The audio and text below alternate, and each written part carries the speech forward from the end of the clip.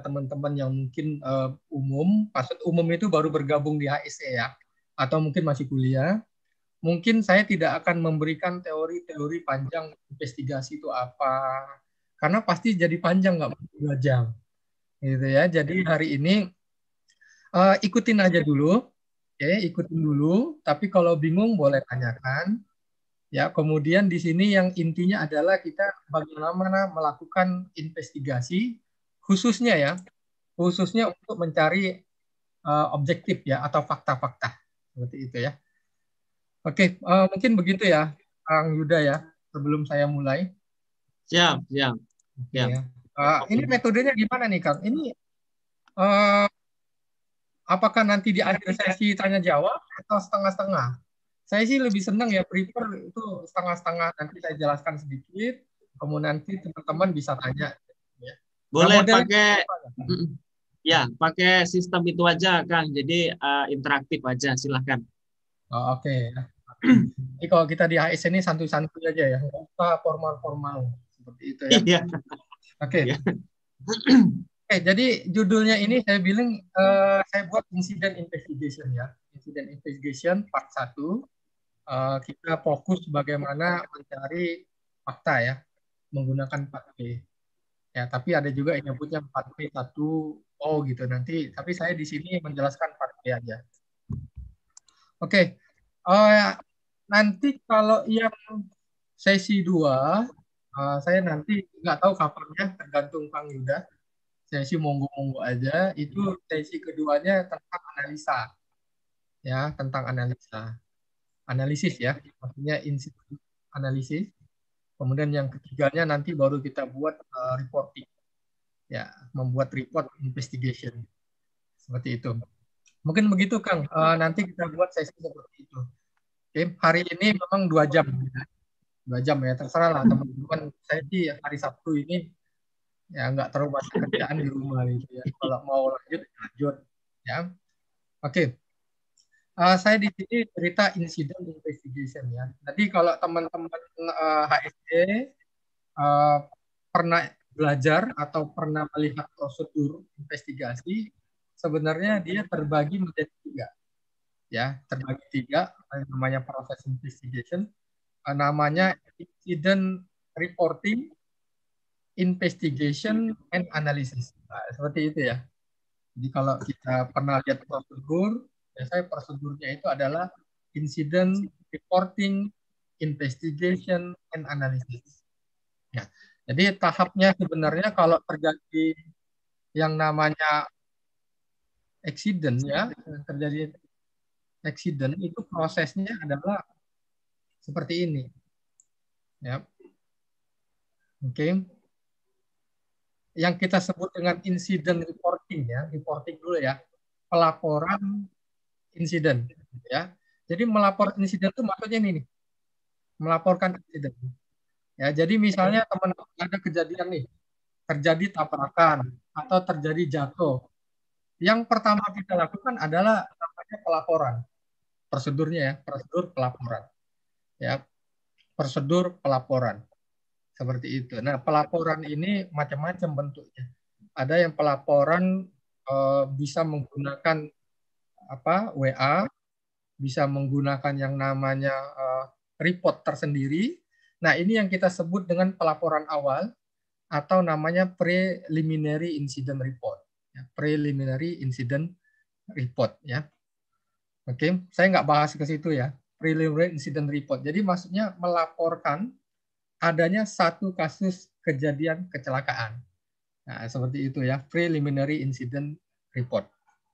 Nah, prosesnya nanti kalau sampai nanti kita dapat orang HSE dapat laporan, ya, nanti tergantung di perusahaan Anda ya prosedurnya ya. Bisa saja nanti kalau terjadi accident, lapornya ke mana? Ya, bisa lapor ke HSE, bisa lapor nanti ke uh, supervisor kita, atau bisa langsung direct ke direktur. Itu proses pelaporan namanya ya. Nah, nanti yang dilaporkan itu adalah kronologi dan tindakan awal yang sudah dilakukan. Seperti itu ya. Itu bukan proses investigasi dulu ya. Oke, itu namanya proses pelaporan. Nah, jadi nanti kalau kita HSE nerima laporan, Menerima laporan nih kita terima, terus ada eksiden tabrakan atau jatuh, kita terima laporannya. Oh, terjadi eksiden ini, udah tahu, oh udah dilaksanakan seperti ini, korban sudah ditangani, barulah nanti proses kita melakukan investigasi seperti itu ya, proses investigasi. Tapi ini teman-teman oh, kalau dibaca ini prosedur satu perusahaan ya, prosedur satu perusahaan tertentu ya. Jadi tidak harus sama. Saya mau menjelaskan tadi saja awal saya bicara yang namanya insiden ya. Oke, yang namanya insiden investigation ya. Karena karena ada juga yang nyebutnya accident investigation. Ya. Ini kalau kita bicara orang HSE, sistem di HSE itu banyak standar, gitu ya. Jadi jangan pernah mengatakan, oh saya benar, dia salah, gitu seperti itu ya. Yang benar adalah, oh saya pakai standar ini, mereka pakai standar sana. Jadi kalau yang di sini saya mau menjelaskan tentang insiden insiden ini kalau kita di ISO 45 atau di OSAS ya mungkin yang lama, insiden itu kan ada tiga. Ya, insiden ini kejadian. Ya, kejadian. Jadi misalnya nih, orang naik ke atas tangga, kemudian jatuh, brok, itulah namanya insiden ya. Kalau menurut definisi ISO, definisi yang namanya OSAS ya, kalau yang lama OSAS. Itu insiden, nah, itu kontak kejadian. Ya, insiden. Nah, insiden itu ada tiga nanti, ya. Ini terkait nanti investigasi ya. Jadi jangan dari awal saya kasihkan seperti ini biar teman-teman, oh kenapa sih tadi kok prosedurnya perlu diinvestigasi, perlu enggak gitu ya. Karena investigasinya panjang banget prosesnya. Ya, enggak per, enggak seperti yang kita lihat di mungkin ya di beberapa perusahaan teman-teman kok investigasi sejam selesai gitu. Itu investigasi ya mungkin ya, mungkin investigasi. Tapi kalau nanti hari ini kita pelajari, investigasi itu panjang prosesnya. Ya, nggak segampang yang kita bilang investigasi wawancara keluar laporan, nggak gitu ya. Makanya nanti kadang-kadang ada perusahaan, oh ini perlu investigasi, ini hanya perlu laporan perbaikan. Ya, saya ulang ya. Nah, ini menurut ISO ORFAS ya, teman-teman semuanya ya. Standar ISO, standar ORFAS. Jadi apa yang saya jelaskan di sini ada standarnya. Ya, jadi uh, insiden kalau di ISO atau OSAS ya, ya itu insiden ini kejadiannya, insiden ya. Jadi kalau seperti saya bilang tadi naik ke atas tangga bekerja, kemudian dia jatuh, cedek. Nah itu nama insiden, gitu ya. Nah insiden, ya, oke, yang kita kenal itu pada saat kita jatuh, ya, pada saat kita jatuh ini dampaknya ada dua. Ya, dampaknya ada dua. Pernah nggak kita ngerasain jatuh, tapi nggak apa-apa kita? Ya, itu kita jatuh, tapi nggak apa-apa, dapat malu doang gitu ya. Nah itu kalau seandainya sudah terjadi insidennya, kemudian tidak ada kerugian apa-apa, baik itu personal, berarti injury orang tersebut, atau property damage, kerusakan material atau properti ataupun kerusakan lingkungan, belum ada kerusakan ya, belum ada kerusakan atau tidak ada kerusakan, ini namanya nirmis, ya, atau hampir celaka, atau ada juga yang nyebutnya near hit, gitu ya, itu nirmis, gitu ya. Jadi kejadiannya sudah, sudah terjadi, jebret jatuh, tapi nggak apa-apa, orangnya nggak luka, properti nggak ada yang rusak, ya. Kemudian lingkungan nggak ada yang uh, tercemar. Itu namanya nirmis. Pernah kan ngalamin seperti itu ya? Melihat ya maksudnya ya. Kalau ngalamin mudah-mudahan enggak ya. Nah itu namanya nirmis insiden nirmis namanya ya. Insiden nirmis jadi insiden sudah kejadian tapi nggak ada kerugian gitu ya. Nah tetapi ada yang namanya pada saat kita jatuh tadi dari tangga terjadi kerugian. Kerugiannya itu bisa berupa orang, berarti luka ya. Oke, luka. Nah, luka kalau kita belajar risk assessment itu ada yang dari kecil sampai fatal ya, itu namanya severity, tingkat keparahan. Jadi pada saat jatuh, bruk, kemudian luka. Ya, luka itu injury bisa dari awal yang kecil-kecil sampai yang fatal. Itu namanya severity. Nah, kalau sudah ada kerugian, berarti misalnya patah tangan, atau luka tersoleo atau apa pun namanya, itu sudah menjadi accident. Ya, menjadi accident karena sudah ada kerugian. Nah, di OSAS, di ISO itu eh, penjelasan tentang insiden itu seperti ini. Jadi insiden itu suatu kejadian, sudah terjadi. Kontak begitu ya. Nah, tapi dampaknya dua. Kemudian kalau tidak ada kerugian itu namanya nirmis. Oke. Tapi kalau ada kerugian, berarti orang yang luka, ada properti yang rusak, atau pencemaran itu namanya uh, accident ya. Jadi ada near miss, ada accident. Oke. Okay? Nah, seperti itu ya. Nah, kalau di OSAS sendiri nanti kalau Anda pernah baca atau belajar OSAS, uh, di OSAS itu kebagi tiga yang namanya incident ya. Incident yang terakhir namanya emergency. Kalau di OSAS ya, kalau teman-teman baca. Nah, kalau emergency itu ya suatu kejadian insiden ya sudah jelas ada kerugiannya, berarti dia sebenarnya sudah accident ya kalau emergency. Tetapi harus segera dilakukan tindakan. Ya, segera dilakukan tin tindakan. Itu namanya emergency. Ya. Yang namanya emergency itu kalau tidak ditangani segera bisa menyebabkan yang namanya uh, apa ya bencana nanti ya kalau kita bilang itu bencana. Oke. Okay? Nah, jadi kalau di OSAS dia kebagi tiga gitu ya nama insiden insiden near miss insiden uh, bentuknya accident kemudian ada yang namanya emergency seperti itu ya beda nggak pak emergency sama accident ya emergency jelas accident ya jelas ada rugi tapi setiap accident belum tentu emergency ya misalnya nih misalnya nih ya saya uh, megang pisau kemudian kebeset saya seret ya ini accident ini Kenapa? Karena sudah ada kerugian. Tapi ini nggak emergensi ini. Biasa aja begitu ya. Itu perbedaannya. Emergensi jelas accident ya, tapi belum tentu yang namanya accident itu emergensi. Makanya di OSAS dibagi seperti itu.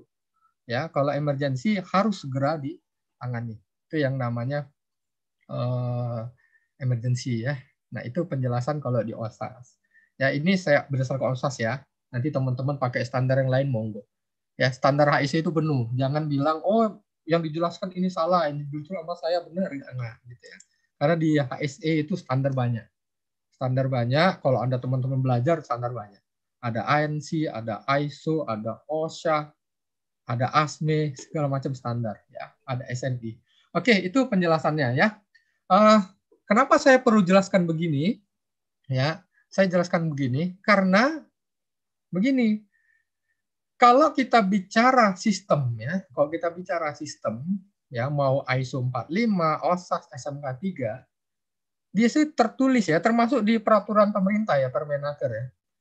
Harus melakukan pelaporan dan investigasi ya, investigasi yang namanya insiden. Ya. Kalau di sistem sih seperti itu. Berarti kita ada kejadian apa pun ya, kejadian apa pun harus dilakukan investigasi. Ya, investigasi tadi uh, insiden tadi ada tiga, near miss, accident, sama emergency, gitu ya. Nah, secara sistem, ya, secara sistem menyebutkan bahwa kita wajib melakukan investigasi, nah, itu ya, secara sistem ya, wajib melakukan investigasi. Investigasi yang mana? Yang tiga tadi, yang tiga tadi ya.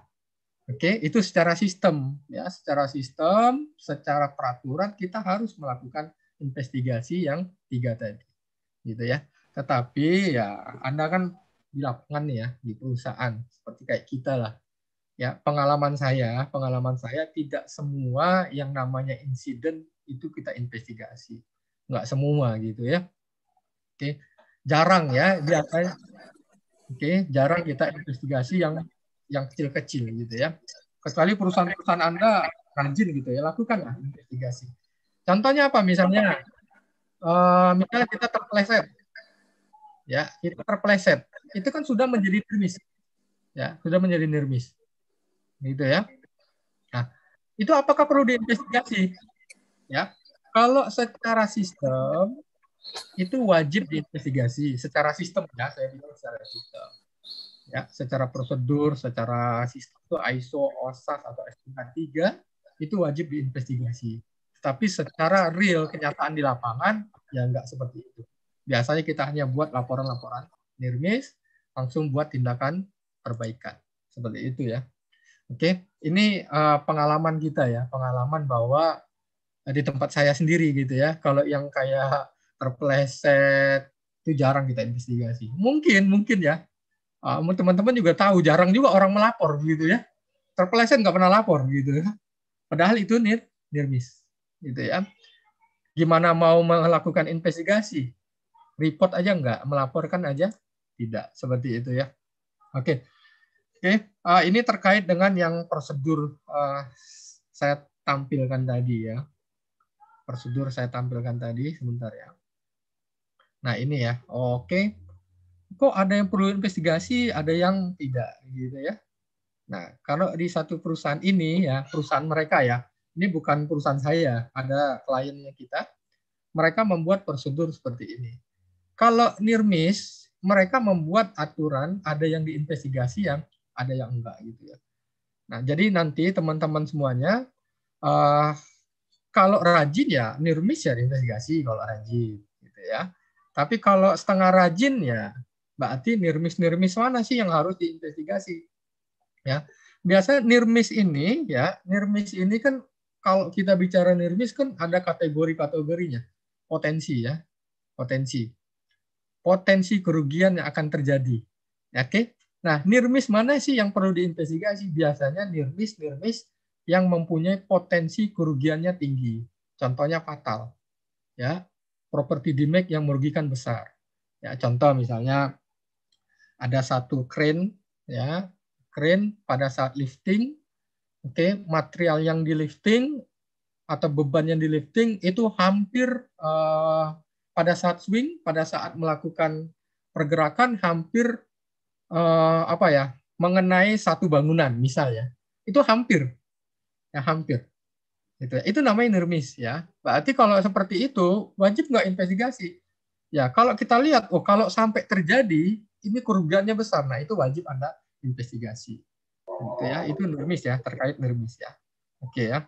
Kalau accident ya, accident juga ya. Accident jelas ya, accident itu kan rugi. Ya, berarti rugi di orang, rugi di properti, rugi di lingkungan ya. Saya bicara tiga ini aja dulu ya. Kalau Anda bicara oh regu reputasi ya boleh saja. Gitu ya. Tapi di sini perlu saya jelaskan kalau di satu perusahaan ini mereka melakukan investigasi setiap adanya accident rugi ya. Oke, tapi ada juga perusahaan yang nggak melakukan. Ya, Anda tahu sendiri lah, mungkin karena orang banyak-banyak HSE di sini. Accident yang kayak apa sih dilakukan investigasi? Ya, ya contohnya kalau accident-accident yang tampaknya besar, ya misalnya lost time atau luka besar nah itu biasanya investigasi ya oke tapi ada juga perusahaan yang investigasi yang kecil-kecil pun diinvestigasi. Misalnya kebesaran itu kan sudah ada loss tuh. Rugi ya. First aid. Nah itu mereka investigasi. Ya, seperti itu. Ya.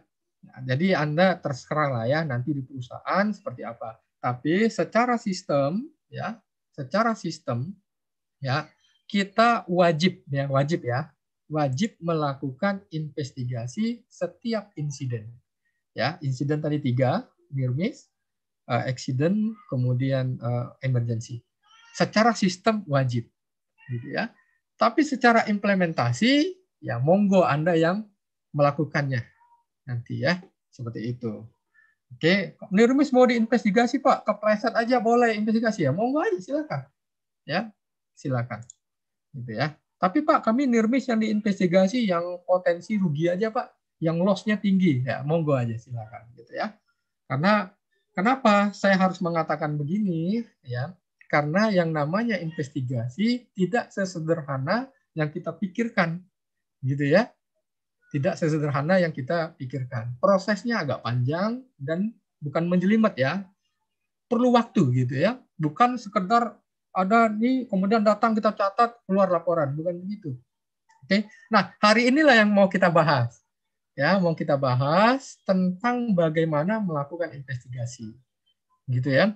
Oke uh, silakan Kang Yuda uh, silakan kalau ada yang mau tanyakan dulu. Oke. Oke monggo uh, teman-teman silakan.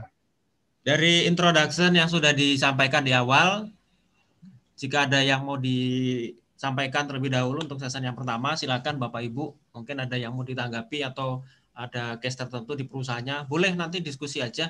Ya, silakan. Ya, santai aja, santai.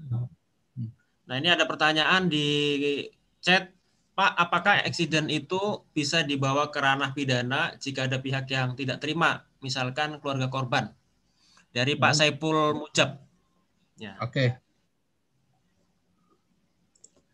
Ini kalau pidana ya jelas bisa ya. Oke, perlu saya kasih tahu ya. Uh, sekarang di kementerian itu nggak tahu kalau sekarang ya. Uh, uh, direktur PNK 3 ya itu polisi loh. Ah, bintang dua dulu Kak dulu Kapolda Bali. Saya kurang tahu kalau sekarang masih beliau apa enggak. Kayaknya masih ya. Direktur PNK 3 itu uh, polisi bintang dua, tapi memang udah pensiun ya. Dulu Kapolda Bali. Ya. Uh, banyak sekarang ya polisi-polisi itu penyidik ya itu belajar yang namanya K3. Belajar K3. Gitu ya. Artinya apa? Kalau zaman dulu ya, kalau zaman dulu kok kita dikonstruksi itu, kalau ada accident, kita bilang ya udah, ini yang namanya accident. Siapa sih yang mau accident gitu ya? Tapi kalau sekarang udah, sekarang pada saat terjadi accident, polisi akan masuk apakah ada kelalaian apa tidak. Gitu ya, ada kelalaian apa tidak. Ya, beda jangan zaman dulu. Zaman dulu mah kalau jatuh jatuh aja. Polisi mah jarang terlibat loh gitu ya. Karena dianggap kecelakaan kerja gitu ya. Tapi kalau sekarang kecelakaan kerja oke okay, itu bisa ada yang namanya uh, kelayan apa tidak. Nah polisi bisa masuk ya ke pidana. Nah yang sering ditanyakan oleh HSE kepada saya ya kepada saya dan di beberapa tim kita juga apa kok seorang safety officer bisa dipidana bisa saja ya bisa saja ya tetapi ini makanya kita orang HSE ini hati-hati ya, hati-hati. Ya. Oke. Banyak kasus ya, tapi memang sekarang memang uh, orang K3 ya agak jarang saya lihat masuk penjara ya. Tapi kalau direktur sering. Ya, ada kecelakaan direktur penjara. Oke, berapa kali kita lihat. Contoh kasus uh, kembang api yang meledak. Ya, waktu di Tangerang apa daerah mana dulu pernah banyak meninggal, itu direkturnya nggak tahu menau tuh. Ya direktur dari Singapura dari mana tahu-tahu di penjara. Kenapa? Karena dia tidak menyiapkan sistem. Ya tidak menyiapkan sistem. Seperti itu ya. Oke. Nah bisa nggak manajer manajer uh, manajer juga uh, masuk penjara? Bisa Oke, pernah kasus kejadian di Samarinda, uh, bukan Samarinda ya, Tenggarong dulu ya, uh, jembatan roboh dulu, jembatan yang Tenggarong yang bagus itu, San Francisco ya, Tenggarong dulu itu yang di penjara bukan direktur, tapi manajer gitu ya, karena lah lalai kecelakaannya. Oke, sekarang pertanyaannya, apakah pekerja bisa? Maksudnya itu tukang-tukang ya, operation operator tukang-tukang bisa di penjara. Itu saja. Oke, ini kasus waktu di pasar rumput. Oke, pasar rumput pembangunan apartemen. Pasar rumput uh, bukan apartemen ya, rusun ya. Rusun yang di pasar rumput ya. Kemudian pekerja ini di atas melakukan pekerjaan, kemudian ada besi jatuh, ya besi panjang lah ya, jatuh menimpa pasar. Oke, pada saat jatuh kan tinggi itu ya, berapa puluh meter itu ya, jatuh menimpa pekerja, menimpa uh, orang di pasar, meninggal ibu-ibu. Gitu ya. Direktur nggak di penjara, manajer nggak di penjara, yang di penjara tukang. Ya, kenapa lalai? Seperti itu ya. Jadi direktur bisa penjara, manajer bisa dipenjara, kemudian uh, orang level bawah, maksud bawah itu maksudnya pekerja yang level operasi itu bisa dipenjara juga. Kasusnya sudah ada semua ini. Ya. Nah, sekarang K3 gimana? Nah, ini yang perlu saya sampaikan. Orang K3 hati-hati. Ya. Orang K3 hati-hati. Jadi kalau ada satu kondisi anda harus report. Misalnya tuh teman tuh nggak pakai APD, Anda harus report. Oke, okay? Kenapa? Karena direktur Anda sudah ngasih prosedur loh. Nggak mungkin kena penjara. Ya, PM Anda atau site manager Anda sudah ngasih prosedur, ngasih ke Anda. Eh orang SE ini prosedur perusahaan kita, tolong Anda jalankan. Oke, Anda nggak jalankan prosedur, bisa kena Anda. Seperti itu ya. Jadi kalau pertanyaan bisa masuk pidana bisa, gitu ya Pak Yuda ya. Silakan yang lain. Silakan. Uh, ini dari Pak Nurbit, Pak Nurbit mungkin bisa di apa diulang kembali. Apakah uh, accident itu bagian dari insiden? Nah, karena oh, kebalik-balik. Ya. Oke ya. ya. Oke ya. ya. Uh, saya sebenarnya oke, terima kasih ya Pak. Jadi yang saya jelaskan tadi ya, ini standar ya, standar. Saya perlu kasih tahu ya teman-teman semuanya, tolong ya. Di HSE itu standar tuh banyak. Ya, standar tuh banyak. Hmm. Jadi ada yang mengatakan insiden, accident sama, insiden sama nirmis sama. Ya, monggo silakan ya, silakan gitu ya. Tetapi yang saya jelaskan adalah standarnya OSAS, standarnya ISO 45. Ya. Yang namanya insiden ya, suatu kejadian Ya, insiden itu suatu kejadian. Ya. Jadi contohnya nih, saya naik ke atas tangga, bekerja di ketinggian. Oke. Kemudian saya jatuh. Jebret, saya jatuh. Itu namanya insiden. Ya, suatu kejadian. Ya, suatu kejadian. Itu namanya insiden ya, insiden. Nah, insiden tetapi itu pada kalau Anda jatuh, pada saat Anda jatuh kan bisa dua bisa Anda nggak apa-apa, bisa Anda luka. Pernah kan ngalamin begitu? Gitu kan? Jatuh, oh nggak apa-apa nih saya. Nah, kalau tidak apa-apa, ini namanya insiden near miss. Ya, insiden near miss. Ya, tapi kalau Anda jatuh, kemudian ada luka, nah ini sudah menjadi kategorinya accident. Ya, seperti itu ya. Ini kalau menurut OSAS ISO gitu ya. kalau Anda pakai standar yang lain ya nggak apa-apa. Seperti itu ya. Seperti itu Pak ya. Jadi kalau insiden ini adalah suatu kejadiannya. Sudah kejadian. Ya, tapi ada dua. Ada yang namanya near miss, ada yang namanya accident. Near miss berarti belum ada rugi. Kalau accident sudah ada rugi. Ya, tapi kalau di OSAS ditambahkan ada yang namanya emergency. Insiden yang sifatnya emer emergency. Emergency itu adalah suatu kejadian yang harus ditangani segera. Makanya kalau kita nyebut kebakaran namanya nggak pernah namanya kita sebut accident kebakaran nggak pernah kita nyebut begitu pasti kita nyebutnya insiden kebakaran gitu ya. Pasti begitu ya, hmm. nggak pernah namanya accident, oh terjadi accident kebakaran, nggak pernah. Pasti kita nyebutnya in insiden, insiden kebakaran. Karena di OSAS itu kebagi tiga, near miss, accident, emergency. Namanya insiden itu ada tiga. Gitu ya, ini menurut OSAS ya, menurut ISO okay. seperti itu ya. Oke. Okay. Dari Pak Heri Kurniawan, ya ini dari Pak Heri Kurniawan ada pertanyaan. Kalau ada limbah B3 tumpah, tapi pekerjanya itu nggak tahu apakah itu masuk kecelakaan kerja, terus apakah harus diinvestigasi? Oke, dia jelas dong, jelas ya. Ya jelas ya. Jadi kalau memang tumpah limbah ya udah kejadian ya, udah ada kerugian ya wajib diinvestigasi. Ya sudah kategorinya tadi, ya sudah menjadi ada rugi gitu ya. Oke, berarti kerugian lingkungan ya wajib diinvestigasi. Apalagi besar gitu ya perkara tahu nggak tahu gitu ya. Ada yang tahu tiba-tiba misalnya ya ada yang bocor tangki bocor segala macam kan nggak ada yang tahu tiba-tiba. Kalau tahu pasti ditahan dong. Ya. Kemudian tumpah ya ini wajib investigasi. Berarti kategorinya sudah accident seperti itu ya. Oke, okay. terus dari uh, Bu Anggi Febrina, Pak, kalau misalkan ada kecelakaan di proyek, mungkin kaki patah atau tangan patah, Terus nanti pembiayaan eh, pengobatannya nanti gimana ke depannya Ini gantung perusahaannya. Kalau perusahaannya pakai BPJS ya jelas ditanggung BPJS semua. BPJS ketenagakerjaan ya, semua ditanggung. Itu aja. Ya kalau secara pribadi, ya berarti perusahaannya harus nanggung.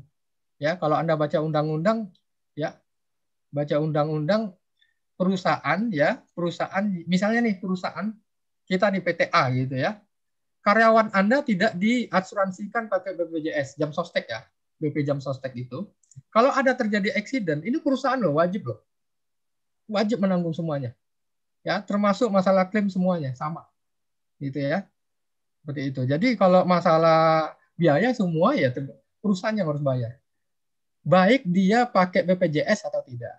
Ya, makanya perusahaan supaya tidak kesusahan, biasanya perusahaan mewajibkan dikasih BPJS jam sostek ya jam sostek. Jadi ditanggung jam sostek. Semuanya tenang, jam sostek itu banyak duit gitu ya. Jam sostek itu banyak duit. Iya, jadi mereka tuh paling gampang. Jam sosteknya paling enak gitu. Ya. Baik-baik ya. lagi. Gitu ya. Oke. Okay. Dari Pak Rahmat Mukti, uh, apa beda uh, investigasi sama audit? Oke. Okay. Beda ya. Audit itu sistem ya. Ya, kalau kita bicara pernah belajar sistem, audit itu adalah melihat comply apa tidak. Ya, comply dengan satu standar. Ya, itu namanya audit. Ya, investigasi ya beda. Investigasi itu mencari bukti yang bentuknya fakta, ya objektif. Gitu ya. Nah, bentuknya tadi melalui wawancara, melalui ke lapangan seperti itu ya. Ya, tapi kalau kita ngelihat-ngelihat oh audit juga sama Pak ngelihat lapangan, tapi beda peruntukan lah gitu ya.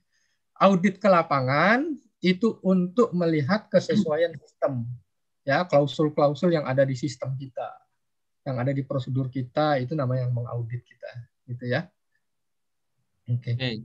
ya dari Pak Dedi Tandi Limbong mungkin pengalaman Pak misalkan ada pekerjaan berbahaya terus safety officernya sudah bilang ke apa namanya ke pimpinannya terus nggak ada solusi nah siapa yang tanggung jawab buat menghentikan pekerjaan oke okay ya ingat ya, ingat ya. Tugas kita itu adalah namanya orang HST itu tugasnya adalah eh, apa namanya menegakkan peraturan undang-undang.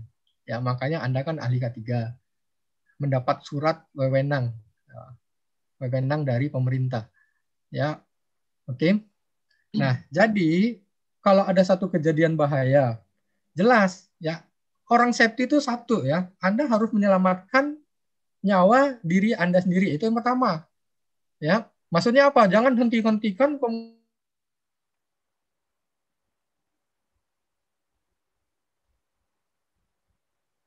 Waduh, ini suaranya hilang nih.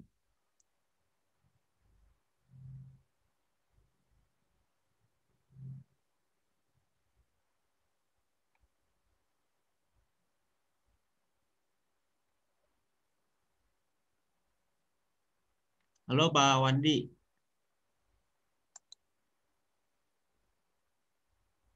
Oke, maaf ya. Nggak tahu, nggak tahu. Putus Pak ya. Oke. Oh, iya. Oke, uh, saya lanjutkan tadi ya. Jadi kalau ada satu kejadian, ada satu kejadian bahaya, ya Anda sudah lapor ke manajemen atau pimpinan. Siapa yang berhak melakukan kematian? Nah ini tergantung perusahaan Anda. Kalau perusahaan Anda itu punya satu kejelasan sistem ya, misalnya ada SWA lah kalau kita di, di gas di Cybertron atau di beberapa tempat mereka punya SWA ya stop work uh, authority. Kalau ada SWA ini berarti siapa saja menghentikan pekerjaan. Seperti itu ya. Tapi kalau perusahaan anda tidak menerapkan SWA nah ini bahaya orang orang ya. Anda bahaya orang safety. Maka saya kasih saran anda harus tetap lakukan tulis ya supaya nanti yang kejadian ada eksiden, Anda nggak kesalahan nanti dibawa ke pidana. Ya, jadi Anda kalau ada ketemuan begitu dipoto, ya foto report ke manajemen, manajemen minta solusi, Pak gimana nih saya stop kerjaannya nih. Jangan progres nih, nanti ada problem progres gitu kan. Ya sudah, Bapak tanggung jawab. Ya, Anda sudah foto, Anda reportkan. Gitu ya. Karena dan jangan sampai nanti problem. Ya, Anda sendiri masuk problem ya. Kalau Anda nggak punya SWA ya, nggak punya SWA, stop work authority. Ya, karena kadang-kadang kalau kita teori gampang. Ya, kalau kita bicara teori ya gampang. Semua orang berhak menghentikan pekerjaan. Ya, tapi kenyataan di lapangan nggak begitu, cuy. Nggak begitu, gitu kan? Anda cari penyakit. Kalau pekerjaan Anda nggak punya power ya. Jadi lama-lama anda yang terbuka dari perusahaan gitu kan? Kecuali anda punya power. Ya, jadi tadi ya kalau perusahaan anda menerapkan SWA stop work authority dan komitmen gitu ya. Komitmen benar-benar. Bukan hanya sekedar oh kita punya SWA hanya untuk kepentingan CSMS ya. Berarti nggak bisa. Tapi kalau benar-benar menerapkan SWA berarti anda bisa menghentikan pekerjaan ya. Tapi kalau perusahaan anda tidak menerapkan SWA anda harus melaporkan foto lapor ke PM Anda, kemudian gimana Pak? Saya hentikan atau kita hentikan? Kalau kata dia, jangan Pak, ya sudah. Ya, tapi bukan berarti Anda lepas tanggung jawab ya, jangan. Udah loh, lepasnya gue nggak mau tanggung jawab, jangan begitu ya. Anda tetap ngawasi yang benar, gitu ya. Jangan gitu ya. Seperti itu.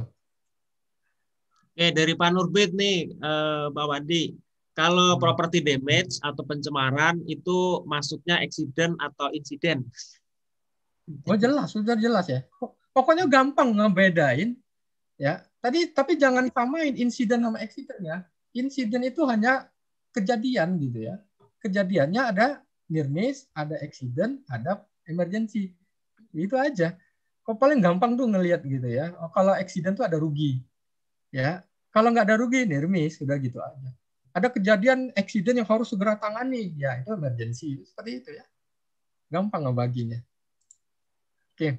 Nah, kalau untuk e, cara untuk menghindari mungkin pelanggaran itu dilakukan berulang-ulang. Gimana caranya? Itu pertanyaan dari Pak Ari Maulana.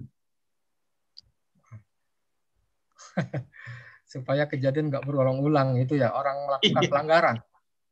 Yeah. Banyak ini masalah ini. Ya, kalau saya mau bicara teori mah gampang ya, prakteknya nggak gampang gitu ya. Kita ini orang HSE, problem di lapangan adalah nggak punya power. Ya, kadang-kadang di situ ya. Nggak punya power tuh artinya lebih tinggian powernya PM-nya kita. Ya, site manager kita lebih tinggi powernya. Itu kadang-kadang bisa problem gitu ya. Oke. Jadi ini buat teman-teman ya, teman-teman semuanya ya anda itu bekerja dengan kondisi ada beberapa hal. Ada kondisi Anda bekerja di suatu perusahaan yang ideal. Ada yang mereka itu menerapkan benar-benar. Ya, benar-benar. Ya, itu kalau Anda terapkan model ya, model yang nama behavior perilaku itu bisa. Oke, tapi kalau Anda bekerja di perusahaan yang kurang ya, kurang komitmennya, berarti Anda menerapkannya model sanksi ya Anda menerapkan model sanksi. Yaitu modelnya hanya dua. Ada model yang namanya reward, ada yang namanya model sanksi.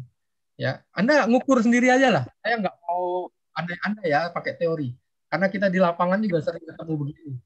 Ya, kalau kita ngukur-ngukur tuh maksudnya lihat aja perusahaan Anda gitu ya. Lihat aja perusahaan Anda. Perusahaan Anda komit apa enggak sih gitu. Kalau komit ya bagus, berarti Anda pakai pendekatannya reward gitu ya. Tapi kalau ada perusahaan yang komit, pendekatannya ada sanksi. Udah gitu aja. Tapi harus komit sama PM Anda ya, atau direktur Anda. Udah itu ya. Oke, uh, Pak. Nah, ini, ini kita lanjutin dulu bagaimana nih? Atau ya, lanjut dulu, Kang. Silakan. Ya. Oke ya. Uh, mungkin ini kalau ada di record ya lebih enak ya Pak ya. Nanti mungkin teman-teman kalau mau itu bisa diulang di YouTube atau di mana? Ada ini ada live YouTube-nya nanti bisa diputar ulang. Oh, oke. Okay. Good ya. Ya. Jadi maksudnya penjelasan kayak insiden itu apa gitu itu ya. Ya. Oke okay, ya. Nah, ini terkait yang tadi saya cerita ya. Oke. Okay. Uh, prosedurnya tadi perlu investigasi apa tidak.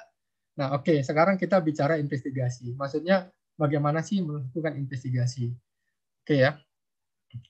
Oke, teman-teman semuanya perlu saya kasih tahu tadi jelas awalnya kalau terjadi satu accident, juga misalnya gitu ya, jatuh, nabrak atau apa pun namanya. Oke. Proses yang pertama namanya pelaporan.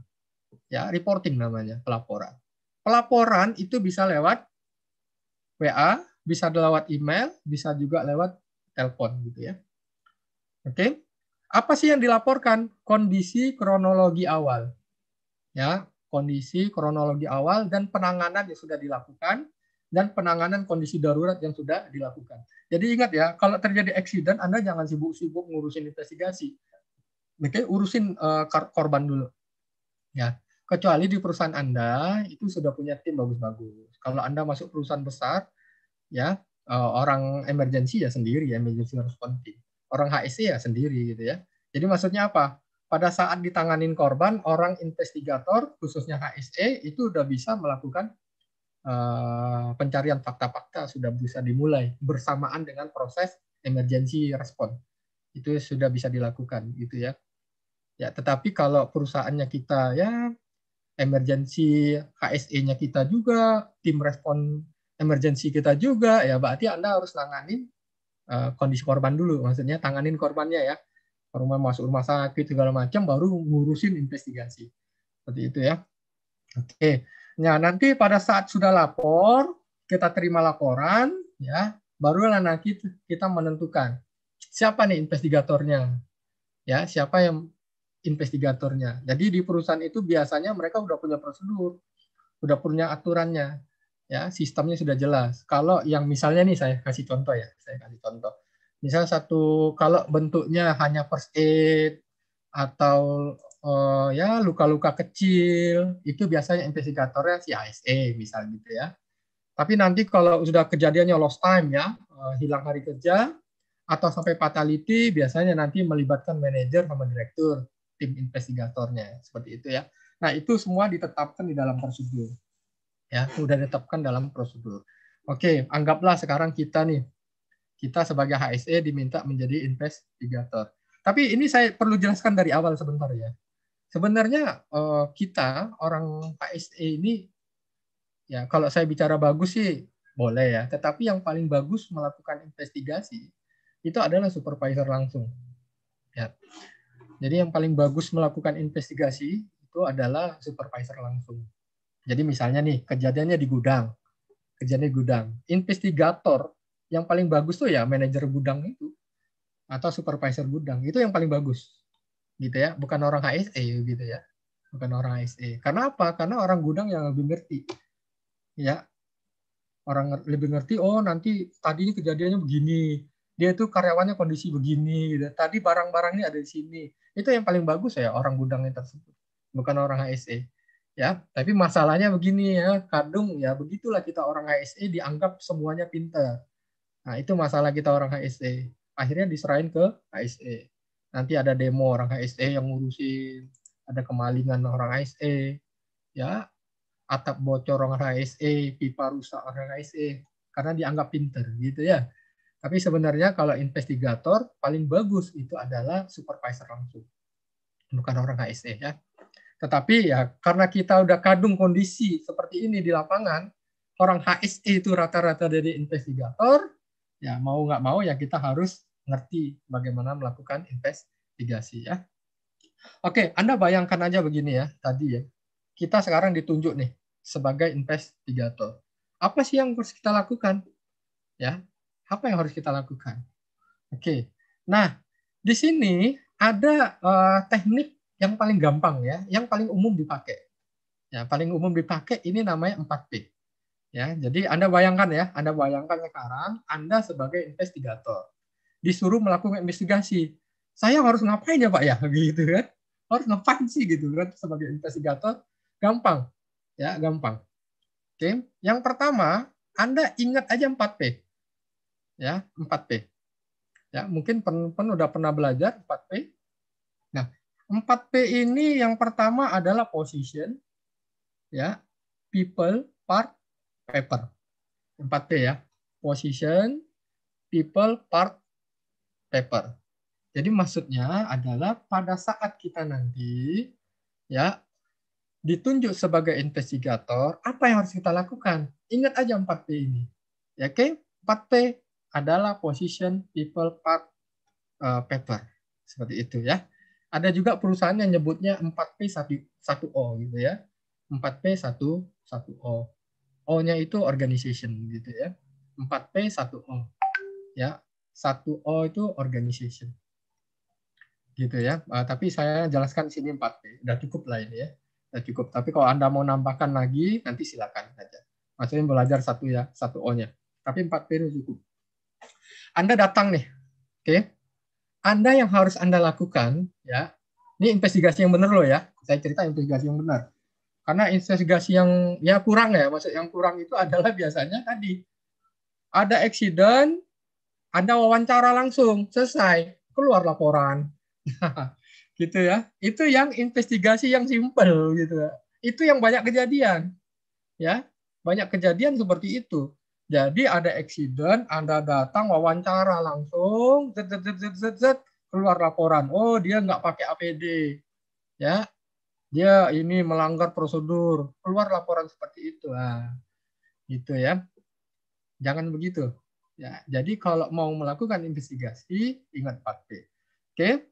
Jadi ada eksiden dilaporin kita Pak, ada eksiden apa? Di gudang Pak. Kenapa? Itu orang kesetrum. Gitu ya, orang kesetrum. Ya udah, kalau begitu apa yang harus kita lakukan? Anda datang ke loka, ke lokasi. Ya, Anda datang ke lokasi. Apa yang harus saya lakukan, Pak? Ingat 4 4P. Itu ya, ingat 4P. Oke. P yang pertama ya. Bentar ya. Ini agak ngelek nih ya. Oke. P yang pertama itu position. Artinya apa? Anda datang ke lokasi. Anda melihat posisi-posisi apa saja. Posisi orang, posisi peralatan, material, ya, bagian-bagian dari lingkungan tempat kejadian, misalnya panas, apa kondisinya berdebu atau gelap seperti itu, itu namanya position. Gitu ya. Paham ya? Jadi seperti itu. Oke, jadi Anda datang melihat posisi-posisi yang ada di situ. Pak, kalau orang kan udah berubah, Pak. Ya udah, jangan terlalu dipikirin. Berarti posisi apa? Posisi peralatan material gitu ya. Makanya dalam investigasi ya, dalam investigasi kita itu uh, dilarang ya kalau kita melihat dilarang melakukan perubahan-perubahan uh, posisi ya, kecuali posisi tersebut bisa menyebabkan eksiden ulang, ya, eksiden lanjutan bahasanya. Itu harus anda uh, berhentikan atau disingkirkan atau anda hentikan ya. Itu yang apabila menyebabkan eksiden lanjutan namanya ya. Oke, jadi seperti ini. Anda datang ke lokasi, kemudian lihat posisi alat, material, bagian tertentu ya, seperti ini. Ya. Oke, nanti ya, gampang ini. Orang ada nih orang kesetrum di sini misalnya. Ya, ada orang kesetrum di sini. Ya sudah, ngelihat situ Anda lihatin oh di sini ada apa? Ada gerinda, kemudian di sini ada welding uh, pipa welding, Ya, kemudian di sini ada ini, ada orang di sini, posisi ini terbuka semuanya ya. Oke. Lantainya seperti apa? Di sini ada besi, ada seperti itu namanya posisi. Ya, position. Gampang kan? Oke, position. Oke. Untuk apa sih untuk analisis nantinya? Oh, dia jaraknya ke sini ke sini. Ini ada di sini. Kenapa ada di sini? Seperti itu position. Oke. Ya, kalau zaman dulu saudara-saudaraku susah ini gitu ya. Anda harus gambar-gambar gitu ya. Gambar-gambar. Kalau zaman sekarang gampang. Ya, bawa handphone atau bawa kamera Anda tinggal kok foto. Gitu ya. Nah, saya mau menjelaskan yang namanya teknik memfoto. Ya, kalau Anda sebagai investigator, moto itu ada tekniknya. Ya. Teknik memfoto. Oke. Oke, ada dua teknik foto di sini. Oke ya. Oke ya, sebentar. Agak ngelek-ngelek ini. Oke. Jadi kalau memfoto dalam uh, investigasi ya itu ada dua teknik foto. Ya. Namanya overshoot and underprint namanya kalau bahasa kita di investigasi ya. Oke namanya overshoot underprint. Nah ini ya.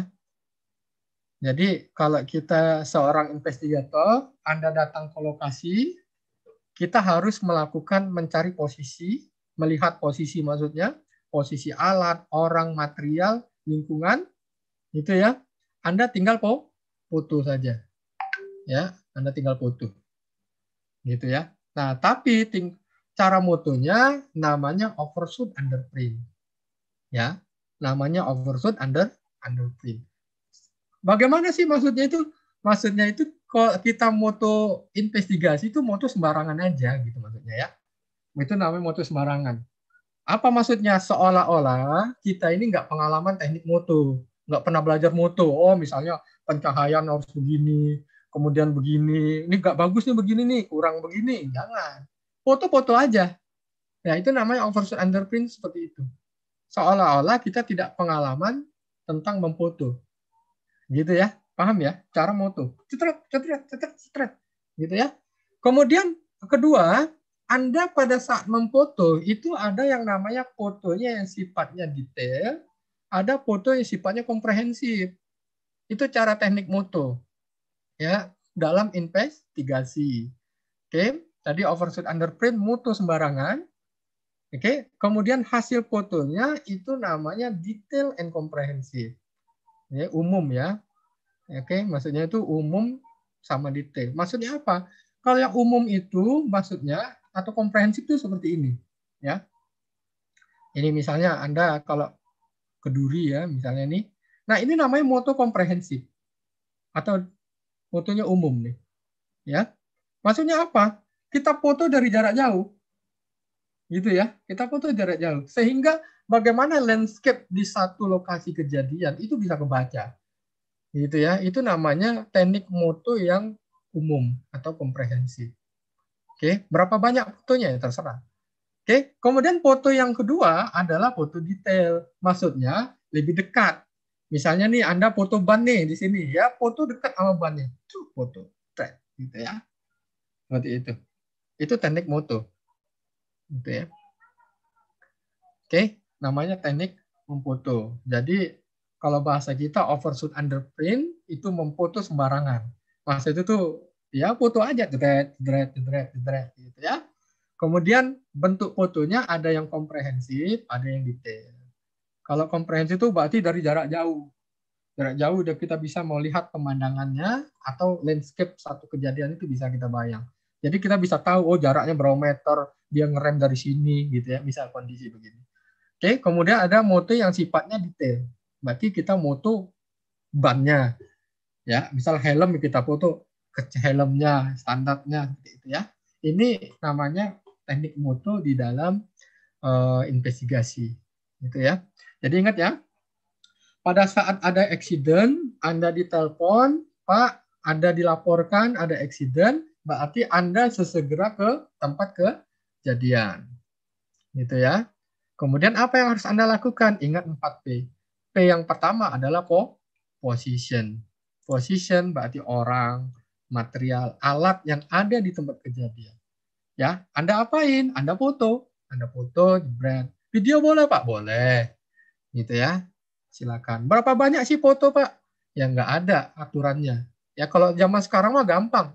Handphone Anda kan keren-keren tuh ya fotoin aja banyak-banyak nggak masalah gitu ya dikit pak ya dikit tuh kalau zaman dulu zaman dulu tuh pakai ada batasannya 12 24 film-film itu ya habis itu kebakar lagi misalnya seperti itu ya nah ini uh, kalau masalah banyaknya ya masalah banyaknya intinya adalah ingat ya di dalam investigasi anda sebagai investigator harus punya pikiran untuk mengetahui bukti mana yang berguna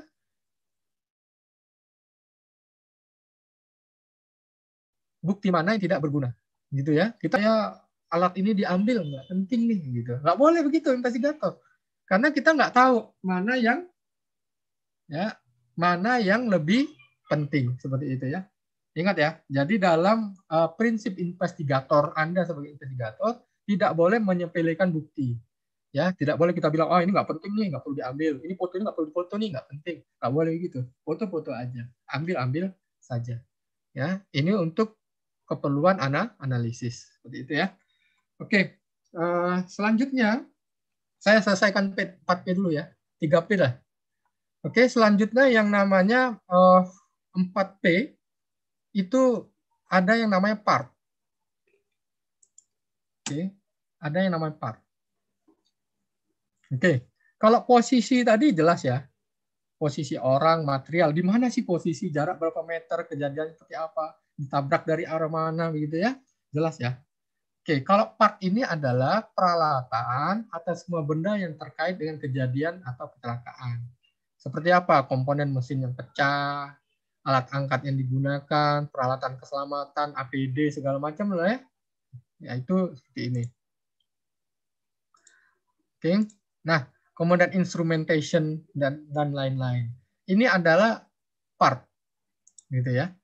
Jadi nanti Anda masuk ke lokasi, ingat position, kemudian ingat kedua itu part.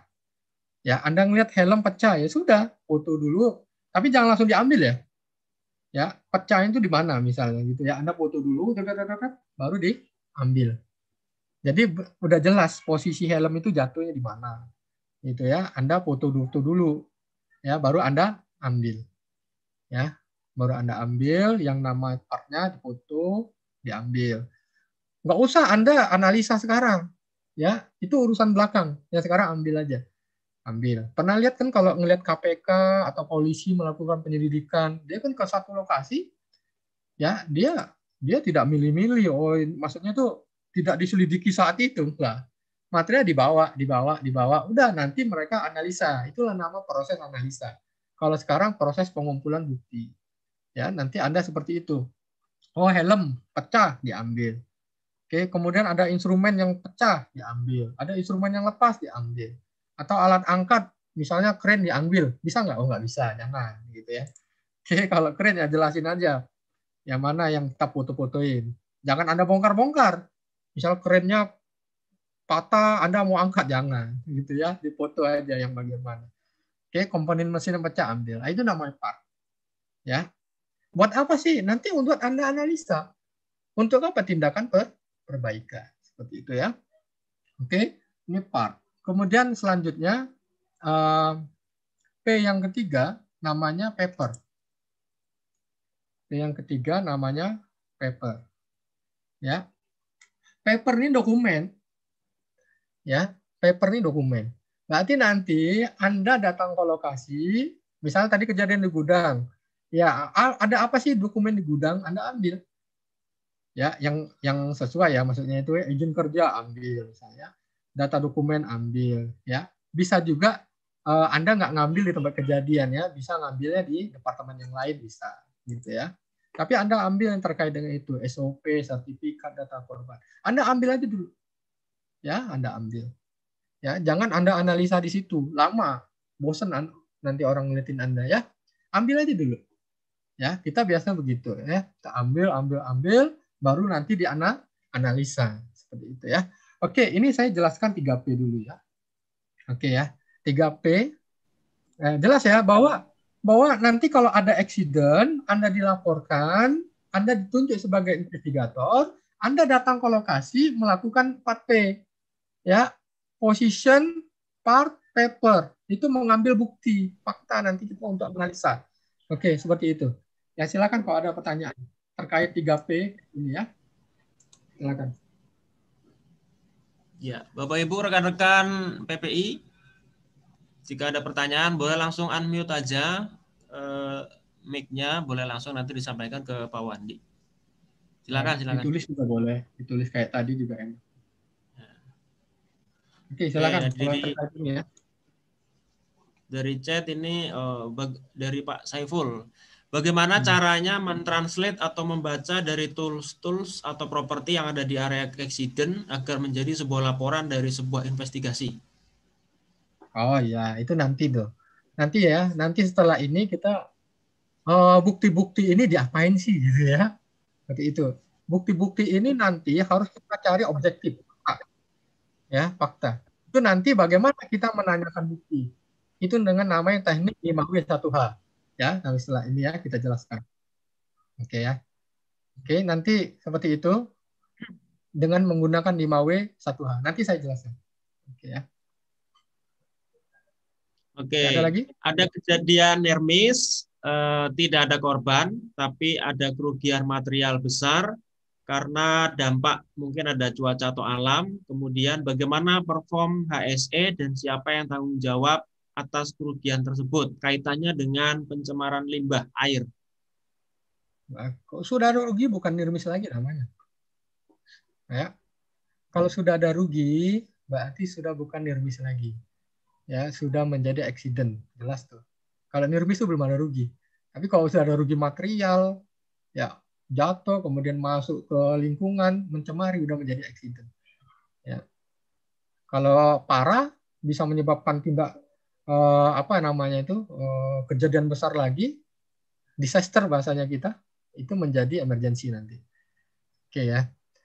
Kalau masalah tanggung jawab, Aduh, ini nggak bisa nih kalau kita bicara ngomong begini ya, harus investigasi dulu.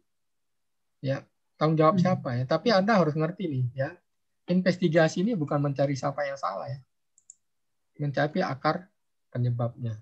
Kadang-kadang di sini nih saya agak saya merasa sedih begitu ya.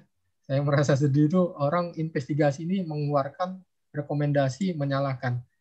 Ya, sebenarnya kalau kita investigasi bukan itu tujuannya.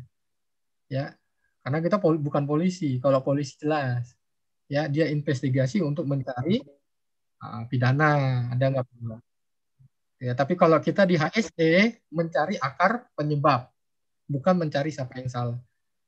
Yang gitu ya. Nah, kalau yang kejadian seperti tadi harus dicari dulu ya. Siapa yang tanggung jawab? Sebenarnya itu gampang ya. Paling gampang ya dalam perusahaan. Kalau perusahaan itu punya semua prosedur, punya SOP, itu beres, jelas apa tanggung jawabnya jelas gitu ya kecuali kecuali keadaan alam ya kalau kejadian alam juga sama ya anda lakukan investigasi kenapa bisa jatuh berarti sistem pengendaliannya kurang mantap sistem penyimpanannya kurang mantap sehingga kena angin dikit jatuh seperti itu ya. Ya kalau kita bicara tanggung jawab semuanya di prosedur sudah jelas di job desk sudah jelas. Seperti itu ya. Tapi ingat ya kalau satu kejadian ya kita investigasi bukan bukan mencari siapa bukan mencari siapa yang salah tapi apa yang menyebabkan kejadian eksiden gitu ya. Oke kalau pada saat ngambil bukti paper ke subkon tapi mereka nggak mau ngasih pak Wandi gimana caranya Hah? baik-baiklah ngomongnya ya ini nih sebenarnya ya Oh, keren banget subkon Anda nggak mau ngasih. Anda sebagai misalnya maincon atau owner, masa subkonnya diminta nggak mau ngasih? Keren banget subkonnya. Nah, nah ini nih, memang tapi ah, tapi saya harus jelaskan juga ya. Memang kejadian seperti ini, ini kesalahannya ya, kesalahannya yang saya amati, saya tangani banyak ya. Kesalahan ini sebenarnya terjadi karena dari awal kita itu tidak pernah menjelaskan fungsi dari investigasi. Ya, dari awal tidak pernah menjelaskan fungsi investigasi. Ya, apa fungsi investigasi tadi? Kita itu bukan mencari siapa yang salah. Ya, tetapi mencari apa yang menyebabkan salah ini, maksudnya itu menyebabkan accident ini untuk dilakukan tindakan perbaikan. Nah, ini yang jarang banget terjadi ya Makanya di pesan buat saya, buat teman-teman ya sebagai safety orang HSE, ya prosedur investigasi itu harus diserah di-share kepada seluruh karyawan, ke subkon Anda ya.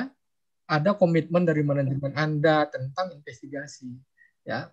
Ini paling banyak kejadian ini, teman-teman semua nih. Ini Kang Yuda di perusahaan-perusahaannya banyak banget ya. Kalau investigasi ini ngeluarin di SP1, SP2, SP3, seperti itu loh kejadiannya. Sebenarnya nggak begitu harusnya. Anda bisa ngasih sanksi itu kalau belum kejadian. Ya, misalnya nih orang naik ke tower, nggak pakai body harness, Anda kasih sanksi boleh itu. Ya, melanggar ah, aturan. Gitu ya. Tapi kalau sudah kejadian jatuh yang jangan. Jangan dikasih sanksi. Ini problem Anda nanti pada saat investigasi. Ya contoh kawan kita tadi mau minta data nggak dikasih, minta paper nggak dikasih. Karena apa? Takut disalah salahkan. Nah seperti itu ya. Nah jadi bagaimana sih melakukan ini? Ini udah kandung kejadian, ya, udah kandung kejadian dari awal sekarang ulanglah bahwa Anda harus melakukan share tentang tujuan investigasi ke subkon-subkon Anda. Ya, Nah, harapan saya nanti setelah training ini, Anda ngerti bahwa oh kita itu sebenarnya bukan mencari siapa yang salah, mencari akar penyebab. Ya. Okay. Tapi uh, kawan kita tadi saya juga pernah pengalaman begini, Pak. Ya. Ya kalau Anda mau okay, minta ya minta baik-baik dalam artian adalah uh, tujuan investigasi dijelasin. Ya ke subkon Anda itu jelasin bahwa tujuannya ini adalah bukan mencari siapa yang salah, kita mau mencari penyebabnya apa sehingga nggak kejadian lagi nih ke depan. Ngomong baik-baik seperti itu. Karena orang kan kadang-kadang nggak ngerti maksudnya kita. Seperti itu. Atau kita juga nggak ngerti kadang-kadang ya tujuannya kita udah siapa yang salah jangan salah oh gara-gara dia nih ya, seperti itu salah itu ya oke okay. oke okay.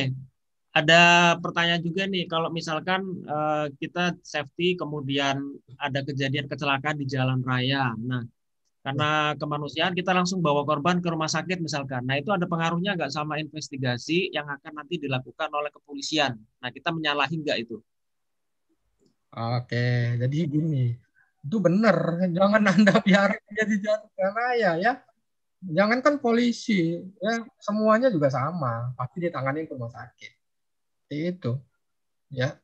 Masa polisi nahan-nahan? Jangan nih kita mau ituin polisi? Enggak lah ya polisi juga langsung nolong kok ya langsung nolong tanganin ke rumah sakit ya oke hubungannya polisi kalau lawan itu nanti lalu lintas ya jelas nanti kalau anda punya BPJS anda kan harus berurusan sama polisi ya harus berurusan sama polisi kalau untuk BPJS ya apalagi ninggal anda harus minta semua laporannya ya berarti nanti urusan sama polisi. Nah, polisi nanti yang melakukan analisa. Ya kita ngikut dulu. Ya, ingat ya. Ingat ya. Jadi kalau nanti polisi itu melakukan uh, ya bahasa kita penyelidikan investigasi berarti dia keluarnya nanti rekomendasi untuk kita dapat surat ya kronologi segala macam. Dipakai oleh kita untuk klaim BPJS seperti itu ya. Nah kalau polisi misalnya nih misalnya mau melanjutkan investigasi ya itu ranah dia sudah ya. Ranah dia itu. Tapi ranah dia adalah untuk melihat apakah ada pelanggaran hukum. Ya maksudnya apa? Misalnya nabrak orang karyawan kita nabrak orang gitu kan? Kemudian dicek nanti narkoba apa tidak mabuk apa tidak. Nah itu ranah polisi ya. Kita nggak bisa ikut campur nggak bisa. Ya biarkan polisi bekerja. Sedangkan posisi kita adalah satu, tetap melakukan investigasi, tapi yang tujuannya adalah untuk mencegah terulang kembali, bukan mencari siapa yang salah. Dalam kejadiannya nanti ternyata mabuk dan masuk pidana, ya udah masuk pidana polisi seperti itu ya. Oke. Jadi Oke. suatu hal yang berbeda, sebenarnya berbeda. Oke. Oke. Kalau misalkan orang HST itu ditunjuk jadi uh, investigasi, terus boleh nggak sih nolak kita tahu karena ada misalkan supervisor yang lebih lebih paham gitu. Boleh nggak nolak? Eh, boleh aja lah, tapi ngomong baik-baik. Saya juga sering oh. begitu, Pak, investigasi ini dong Pak. Gitu. Aduh, saya nggak sempat ya bisa jadi seperti itu kan. Nolaknya karena apa? Udahlah Pak, dia yang lebih paham. Gitu. Tapi kalau sampai kita nolak, nggak ada yang jadi investigator, itu kan repot tuh. Ya. Kemudian kita nolak, terus nggak ada yang jadi investigator gimana? Ya terpaksa harus kita lah. Oke. Okay. Oke, ya. terus ada pertanyaan juga nih Pak Wandi. Eh, tadi kan kalau sudah kejadian nggak boleh di SP. Nah, tapi dari pimpinan tuh kasih SP. Nah, tapi kita sebagai safety itu bela lah yang bela. Artinya memberi pemahaman kepada pimpinan itu karena ini uh, kecelakaan dan nggak ada kaitannya untuk SP. Nah, itu kita membela si korban ini baik atau uh, nanti pendapatnya gimana? Itu justru Anda yang benar itu. Anda harus benar yang betul. Ya, karena prinsip accident tuh begini teman-teman semuanya. Nggak ada orang mau accident tuh nggak ada. Ya. Ada nggak sih? Oh, aku mau nanti aku mau jatuh nih nggak ada. Gitu, kan? Ya, jadi accident itu tidak tidak ada yang ingin accident gitu ya. Bayangkan dia udah accident korban kemudian anak kasih sanksi SP3 lagi misalnya ada pecat memang kasihan gitu ya. ya padahal penyebabnya banyak ini suaranya pecah-pecah pak. Memang dari sana gimana ya? Di sana jelas kalau di ya? sini sini jelas pak. Saya jelas oh ya oke oke. Nggak apa-apa. Yang penting di sana jelas. Oke ya. Jadi seperti itu. Anda benar justru. Ya anda benar. Ya.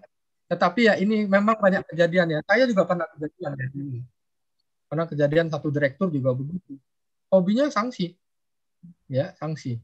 Wow. Pernah sampai empat kali kejadian kebakar dulu kantor dulu ya. Tapi untungnya nggak kebakar habis. Kebakaran pertama yang disalahin office boy. Kebakaran kedua yang salahin office boy. Masih sanksi terus. Ya. Dampaknya tadi kita orang HIT mau melakukan investigasi itu problem nanti pada saat kita mau investigasi pasti ditolak. pasti ditolak kita. Udah tahu, ya udah tahu nanti pasti oh saya kalau diinvestigasi jadi ini nih jadi tersangka nih ya seperti itu. Nah ini makanya dari sekarang teman-teman semuanya tolong di share uh, apa manfaat dari investigasi itu apa. Kemudian dikasih tahu ke direktur, kembali seperti itu. Ya, memang nih banyak nih yang begini. Dulu saya sampai berdebat sama direktur satu perusahaan tuh sampai jam 9 malam. Gitu ya. pada saat training begini. Itu karena mereka nggak terima. Wah, nggak bisa, Pak. Harus kasih sanksi. Begitu biar biar itu, Pak, biar kapok. Wah, akhirnya kayak gitu terus ya. Tapi tadi ya, Anda udah benar atau harus bela ya seperti itu karena okay. prinsipnya nggak ada orang mau accident gitu. Uh, mungkin ini pak ada ada case mungkin jadi ada accident kemudian sudah diinvestigasi nah mungkin saya kerucutkan aja mungkin ada property damage gitu ya nah ketika diinvestigasi muncullah uh, poinnya ada kesalahan di manpowernya apakah itu nanti boleh di warning atau uh, tindakannya seperti apa nih Ya itu tadi, kalau kita bicara investigasi itu nggak bisa kena ke orang.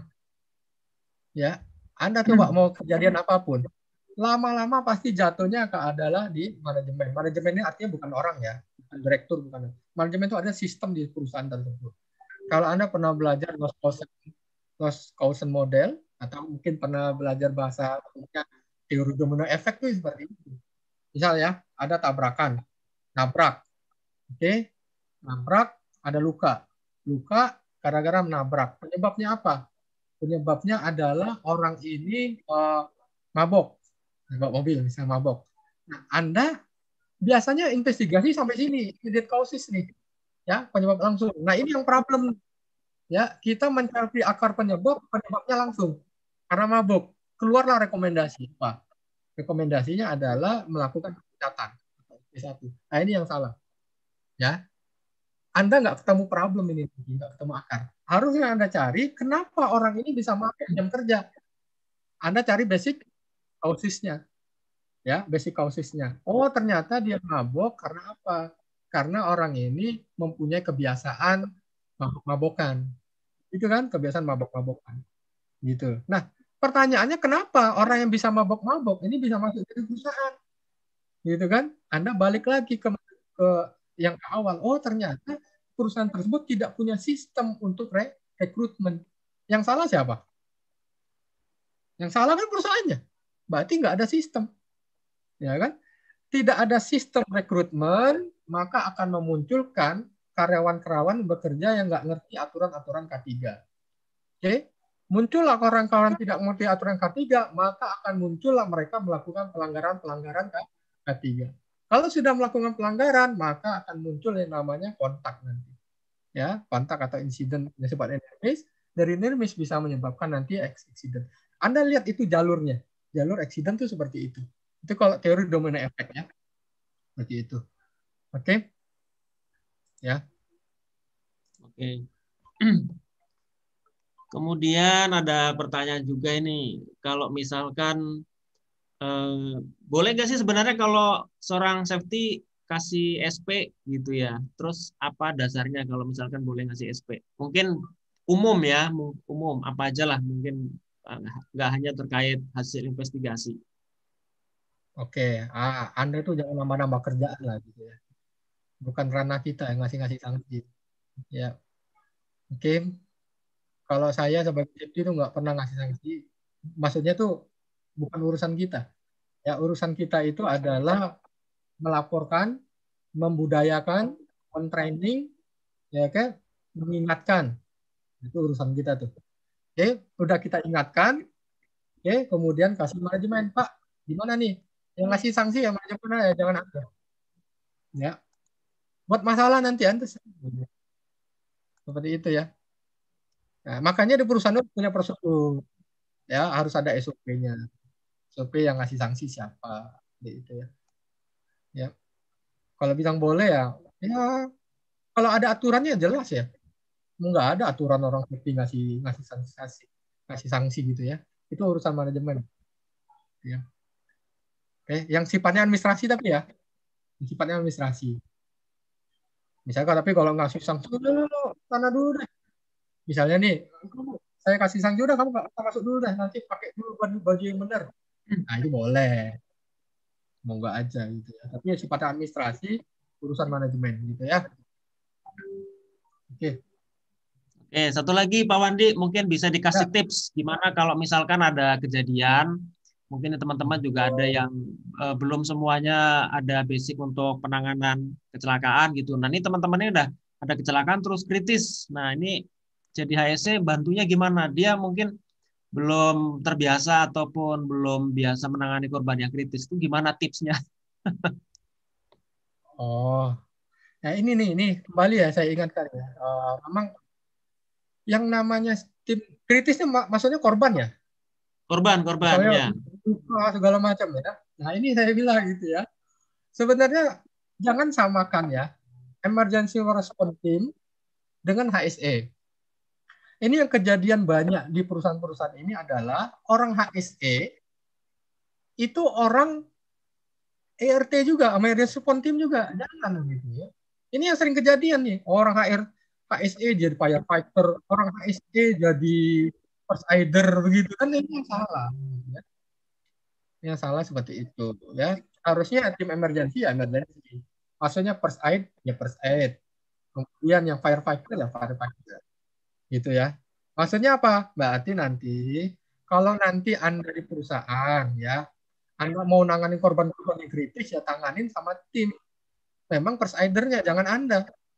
Ya, jangan Anda tanganin gitu ya. Anda hanya punya prosedur, punya SOP. Kalau nanganin korban, prosedurnya adalah ditangani oleh si A atau tim ini. Kemudian harus dilakukan uh, komunikasi sama rumah sakit. Ini Anda yang ngerti. Mengkoordinasikan boleh. Ya, itu ya. Ya, jadi kalau Anda memang nggak takut lihat darah segala macam, nah itu itu lucu juga tapi ini nanti. Ya.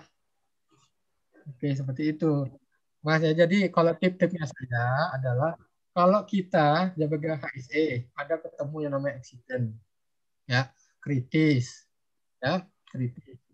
Ya kita lihat kondisi kita, pengalaman apa tidak, nanganin korban kritis. Maksudnya itu punya kompetensi apa tidak gitu ya. Kalau punya kompetensi, tidak ada orang atau tim yang melakukan itu, persider kita nggak ada, berarti kita wajib melakukan pertolongan. Gitu ya. Kan udah di planning persider gitu. Tetapi kalau ada, bagaimana ya? Berarti tim emergency provider yang menangani. Kita adalah mengkoordinasikan bagaimana si korban ini ditangani. Di rumah sakit, nanti segera ngirim, koordinasi material segala macam kita. Dan seperti itu ya. Ya harus berani lah bahasa itu berani. Oke. Oke.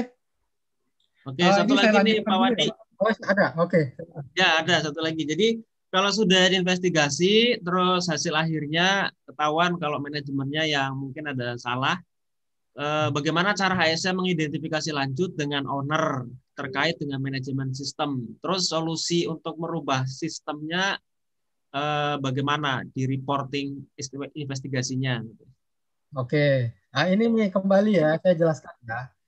Di sini investigasi kita tuh tidak pernah menyalahkan ya, baik yang orang level bawah sampai ke direktur. Nggak ada gitu ya. Nggak ada. Jadi yang kita salahkan itu manajemen. Manajemen di sini artinya sistem manajemennya. Ya, sistem manajemennya ingat ya, manajemennya. Bukan orang top direkturnya bukan. Ya, bukan gitu ya. Jadi jangan sampai oh karena karena ke direktur nih nggak ngeluarin anggaran, karena ke direktur nih nggak komit. Nah, bukan personalnya, ya bukan personalnya. Tetapi adalah, oh sistemnya apa? Nggak ada prosedur, nggak ada anggaran, segala macam. Ya, Nah itulah yang kita buat rekomendasi. Tapi ingat, ini, ini saya ingatkan, tugas kita investigator itu hanya memberikan rekomendasi. Udah. Rekomendasi itu Ya, kita rekomendasi doang. Hasil investigasi rekomendasi. Serahkan ke manajemen. Pak, Bapak harus ngeluarin anggaran nih Pak untuk menyelesaikan ini. Ya kan? Pak, Bapak harus melakukan pelatihan nih Pak buat teman-teman ini supaya nggak kejadian. Pak, Bapak harus menyediakan menyediakan APD yang begini Pak. Begini kan? Kita rekomendasi. Hasilnya ada di manajemen. Gitu kan? Nah, manajemennya komit apa enggak? Kalau manajemen komit dilaksanakan semua, anggarannya ada dilaksanakan semua. Kalau manajemen komit ya sudah, berarti laporan kita hanya untuk kepentingan audit, kepentingan CSMS. Ya, oke. Okay? Nah, bukan berarti nanti Anda menyerah, oh aku nggak mau lagi udah buat laporan, jangan. Ya, minimal Anda ngerti. Ya, buatlah perbaikan. Ya, problem manajemen itu sebenarnya bukan di administrasi, di keuangan. Ya, di finance, gitu aja. Anda jangan sedih kalau manajemen nggak komit sama K3 itu wajar. Asli. Saya katakan wajar sekali. Ya, manajemen nggak komit sama K3 itu wajar. Ya, karena yang dipikirin sama dia hanya duit, bagaimana perusahaan tetap maju. Udah seperti itu. Anda nggak boleh nyalain manajemen. Wah, dia nggak manajemen nggak komit nih. Jangan gitu ya. Oke, karena dia mau wajar juga karena nggak tahu. Ya, manajemen komit kan gara-gara CSMS. Ya kan? Disuruh CSMS, ya dia komit, suruh Mau mencari manajemen komit susah cuy. Ya, saya udah nanganin ratusan manajemen komit tuh paling hanya hanya 10 persen, 15 persen nggak nyampe. Gitu ya. Itu pun biasa awal-awal aja tuh gaya-gaya depan kita. Oh Pak, saya komit gitu ya. Ah, akhir-akhir yang enggak tuh. Gitu ya. Jadi Anda jangan sedih ya. Jadi maksud saya, pada saat Anda mengeluarkan rekomendasi, ya tidak ditindaklanjuti, Anda punya pengalaman sendiri. Oh iya, kalau begitu Anda aku harus memperbaiki ini deh. Memperbaiki ini. Gitu ya. Oke, Anda harus paham juga bahwa sebenarnya accident yang paling banyak itu unsafe unsafe X sebenarnya. Ya. Anda kalau bicara accident itu unsafe X sebenarnya yang paling banyak penyebabnya ya. Uh, jadi Anda itu bisa membuat satu program-program yang nggak membutuhkan dana besar sebenarnya. Seperti itu jangan sampai terlalu heboh oh, manajemen ngeluarin duit begini gini gitu kan. Anda jadi sedih jangan. Ya karena banyak program-program yang low low cost tuh banyak banget. Ya kalau anda tahu gitu ya bahwa 94 accident terjadi karena unsafe behavior. Anda harus buat buat program yang unsafe behavior. Itu murah. Murah banget gitu ya. Mahal itu karena kalau kaitannya sama undang-undang itu safety menjadi mahal Ya, kalau safety hanya untuk tujuannya Anda mencegah accident itu murah banget, asli murah banget. Gitu ya. Tapi kalau udah memenuhi undang-undang safety jadi mahal. Gitu ya. Safety menjadi mahal karena undang undang-undang seperti itu. Ya. Oke. Jadi ingat ya tadi ya. Jadi kalau ya. kalau akhir-akhirnya itu bukan kesalahan manajemen portfolio ya. Ya, jadi kalau kesalahan itu adalah di manajemen sistemnya ya manajemen sistemnya nggak ada. Jangan sampai Anda membuat rekomendasi adalah nanti oh direkturnya tidak komit. Ya, jangan membuat rekomendasi begitu. Ya, makanya nanti kita buat cara membuat laporan. Jangan membuat laporan seperti itu. Ya, laporannya adalah uh, uh, belum adanya sistem untuk penganggaran segala macam ini. Perlunya meningkatkan komitmen manajemen seperti itu laporannya. Lewat apa? Ya. Jadi manajemen baca oh berarti saya harus melakukan ini nih gitu ya itu. Jadi bukan nyalain dia, malah dia punya komit. Kita mengeluarkan anggaran ya. Ya. Oke. Okay. Ya. Oke, okay, uh, bisa dilanjut. Oke, okay, saya lanjutin ya. Saya lanjutkan. Oke, jadi nanti uh, kita ulang ya. Jadi nanti pada saat Anda dapat laporan, Pak ada accident, Bu ada accident. Berarti Anda melakukan lapangan. Ya, investigasi ke lapangan untuk mencari fakta bukti-bukti ya.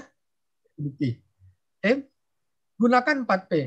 Ya. P yang pertama position, P yang kedua apa, P yang ketiga paper.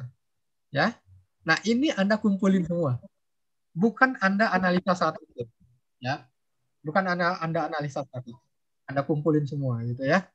Eh, kayak Anda bayang KPK lah saat saya ya. KPK datang menyelidiki rumah tersangka.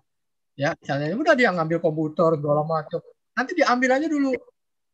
Nanti baru dianalisa di kantor. Itu. Itu proses investigasi. Jadi Anda bayangkan ya, investigasi itu panjang, nggak seperti yang kita buat selama ini. Gitu ya.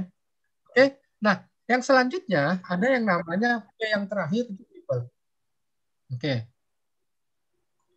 Yang terakhir namanya people. Ya. Nah, people. Ini wawancara.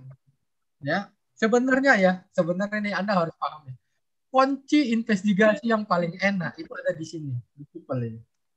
Ya, kalau kita di people ini kita mencari informasi namanya.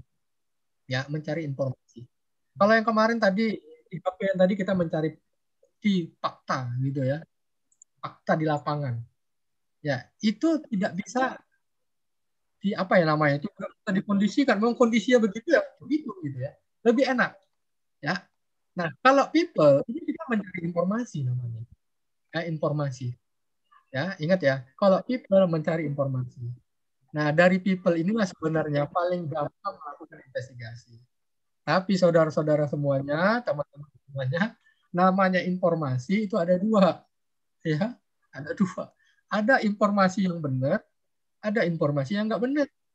Itu problem di people ini. Ya. Ya, jadi informasi mencari investigasi yang paling gampang itu lewat people. Ya, jadi misalnya begini nih, misalnya Mas itu mencari akar penyebab paling gampang itu lewat people. Kita wawancara. Orangnya benar nih. Perusahaannya komit, orangnya benar. Tahu bahwa oh saya nggak bakalan dia sanksi, dikasih sanksi nih kalau saya melakukan uh, apa jujur misalnya saya tinggal tanya pak kenapa sih bapak bisa uh, ini pak bisa nabrak misalnya eh sorry mas. Tadi aku oh, banget gitu kan. Ngantuk banget saya gitu kan. Nah jelas ya jujur ya. Kalau orangnya jujur jelas penyebabnya ngantuk. Tinggal kita cara kenapa mas jujur uh, ngantuk? Dia jelasin lagi. Oh karena saya sebenarnya lembur sampai jam segini dia ceritain begitu ya. Itu paling enak tuh dapat informasi dari people. Ya paling enak. Jelas ketemu akar penyebabnya. Kalau informasinya benar. Ya, problemnya kalau kita ketemu ketemu dengan people yang tidak mau jujur atau tidak mau disalahkan. Anda harus mencari fakta-fakta yang lain. Ya, ini problemnya kita. Sebenarnya di people ini paling enak kalau orang yang benar. Saya pernah nih nangani investigasi yang begini. Enak banget dah. Ya, enak banget investigasi begini nih. Direkturnya komit, supervisor komit, anak buahnya komit. Wah, jujur aja deh. Jujur. Bosnya nggak tersinggung, direkturnya nggak tersinggung. Walau Pak, kami ini Pak kerja sampai jam segini, jam lembur. Wajar Pak, saya capek ngantuk. Oke, selesai. Gitu. Rekomendasi kamu apa? Rekomendasi kamu apa, Pak? Jarak jauh, Pak. Kalau jarak jauh, kami di sini mobil. Jadi jangan pakai motor, misalnya gitu kan. Jadi kalau enak ada so driver, ya udah kita buat rekomendasi ya kan rekomendasi salah satunya adalah menyediakan kendaraan operasional mobil. Sudah direkturnya baca. Ya udah pak. Kalau gitu nanti saya beliin mobil buat anak operasi gitu kan. Selesai. Gitu kan masalahnya di situ. Nah kalau direkturnya komit. Nah kalau direkturnya komit repot juga. Ya saya juga pernah ngalamin ya melakukan investigasi dulu ada tabrakan kapal di balik papan. Oke kemudian uh, si kapten kapten ini kan saya panggil satu-satu ya ada kapten ada kapten yang kita panggil cap. Berapa sih kecepatan kapten bawa kapal ini kok bisa nabrak? Gitu kan. Nah dia nggak jujur. Dia bilang oh iya pak. Kecepatan saya pelan kok pak. Hanya 9 knot katanya begitu kan. Ya udah kita sebagai investigator ingat ya. Kita sebagai investigator nggak boleh anda ngomong waduh bapak bohong pak. Ini Al-Quran nih pak. Ini Injil. Oh, misalnya oh pak sumpah depan Al-Quran. Nggak boleh begitu ya. Ya jadi kita investigator kalau wawancara anda harus catat. Ya anda harus catat tetap. Dia ngomong 8 knot kecepatannya. Dia bilang 10 knot kecepatannya. Anda harus catat. Ya anda nggak boleh mengatakan bohong bapak gitu kan. Tapi kita melanjutkan pertanyaan yang lain gitu kan. Anda harus catat. Oh kecepatan Kapten X itu 10 knot 8 knot gitu kan. Kemudian saya tanya lagi, wah begitu, tanya lain. Anda jangan langsung nggak boleh di apa ya bahasa kita ya, nggak boleh namanya, oh bapak bohong, nggak bisa begitu kalau wawancara. Ya, Anda ketemu orang yang begini paling banyak. Ya, Anda ketemu orang yang begini paling banyak. Ya, kenapa begini bisa terjadi? Tadi yang saya cerita dari awal.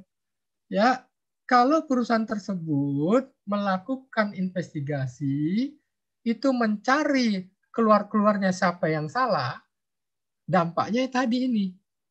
Ya, dampaknya tadi ini. Pada saat Anda sebagai investigator melakukan investigasi, pasti akan ketemu hal orang yang nolak. Satu. Saya pernah juga ini kejadian begini. Atau yang kedua adalah mereka tidak jujur. Ya, kalau tidak jujur repot ini. ya Anda akan susah mencari akar penyebabnya nanti. Ya, mencari akar penyebabnya akan susah. Karena orang nggak jujur. Pak, Bapak cepat ya Pak naik motor. Pelan kok saya. Berapa? 30 km per jam. Masa Anda mau nanya ke dia, sumpah Pak, beneran Pak. Nggak boleh begitu. Ya, nggak boleh. Anda harus tetap mencatat. Ya, Anda pernah tahu kasus kan?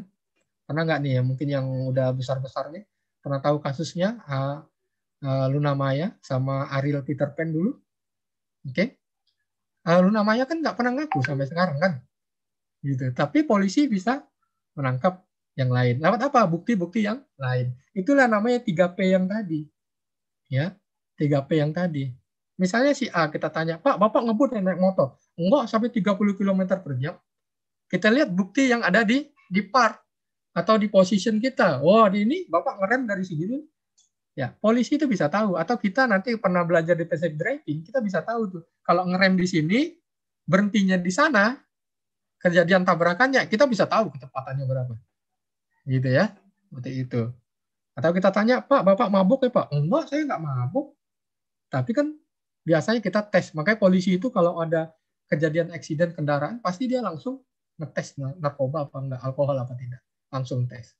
Gitu ya. Nah, itu apa? Nanti kalau ditanya, Bapak mabok? Enggak. Ini buktinya, faktanya. Nah, seperti itu. Itulah pentingnya 3P yang dari awal. Ya, 3P yang awal itu adalah untuk alat alat bukti yang tidak bisa dibohongi. Karena jelas faktanya, begitu kan? Jelas faktanya. Misalnya kita, Bapak ini pakai helm yang enggak standar ya? Enggak standar, mana buktinya? Ini jelas ya. Nah, 3P tadi faktanya jelas. Faktanya jelas. Tapi kalau 4P, P yang terakhir people, ya people ini kita mencari informasi. Faktanya ada dua. Bisa benar, bisa enggak. Gitu ya. Makanya teman-teman semuanya berdasarkan ini, monggo dari sekarang dijelaskan tujuan dari investigasi ini apa, kepada manajemen kita, kepada karyawan, gitu ya, sehingga nanti kita ya kita kalau sebagai investigator tidak menemukan kesulitan pada saat wawancara. Gitu ya. Pada saat mencari investigasi, informasi tidak menemukan kesulitan. Gitu ya. Kenapa? Karena mereka jujur, karena mereka tahu kalau saya jujur saya tidak akan dikasih SP. Ya. Kalau saya jujur maka ini bagus buat saya, buat perusahaan. Nah, maka dia akan jujur bahkan akan memberikan rekomendasi perbaikan gitu ya. Ini tujuan dari investigasi. Ya, seperti ini. Ya, tapi teman-teman jangan sedih ya. Saya pernah uh, ngurusin perusahaan-perusahaan besar gitu ya. Ya sama gitu ya. Gitu ya. Perlu namanya budaya investigasi ini di apa ya, dijelaskan lagi gitu ya. Oke ya. Jadi uh, people berarti ini nanti Anda melakukan wawancara namanya. Wawancara ya. Wawancara itu ada lima Maksudnya ada lima yang bisa Anda wawancara. Siapa saja korban langsung? Jelas ya, korban langsung. Kemudian saksi mata, teman sekerja, pimpinan ahli. Pimpinan di sini maksudnya bisa supervisor ke atasnya ya. Ahli ini bila perlu ya, apabila kita perlukan. Kalau saya dulu seperti uh, dulu ya saya kapten kapal ya nabrak, saya akan panggil kapten-kapten kapal yang lain walaupun dia tidak terlibat gitu ya. Atau ahli-ahli kapal yang lain ahli mesin kita bisa panggil gitu ya. Ya seperti ini. Ya misalnya misalnya kejadian keren misalnya patah bisa ahli keren. Ya bukan dari perusahaan kita bisa panggil dari luar ahli keren seperti itu ya. Ini people. Ya jadi jadi 4P ini seperti ini. Ya jadi nanti kalau Anda melakukan 3P plus P yang terakhir ada people anda akan mendapatkan satu fakta-fakta ya yang bisa Anda lakukan analisa nantinya ya. Oke. Nah, selanjutnya harus diapain ini Pak? Anda udah ngambil nih misalnya permit to work paper ya.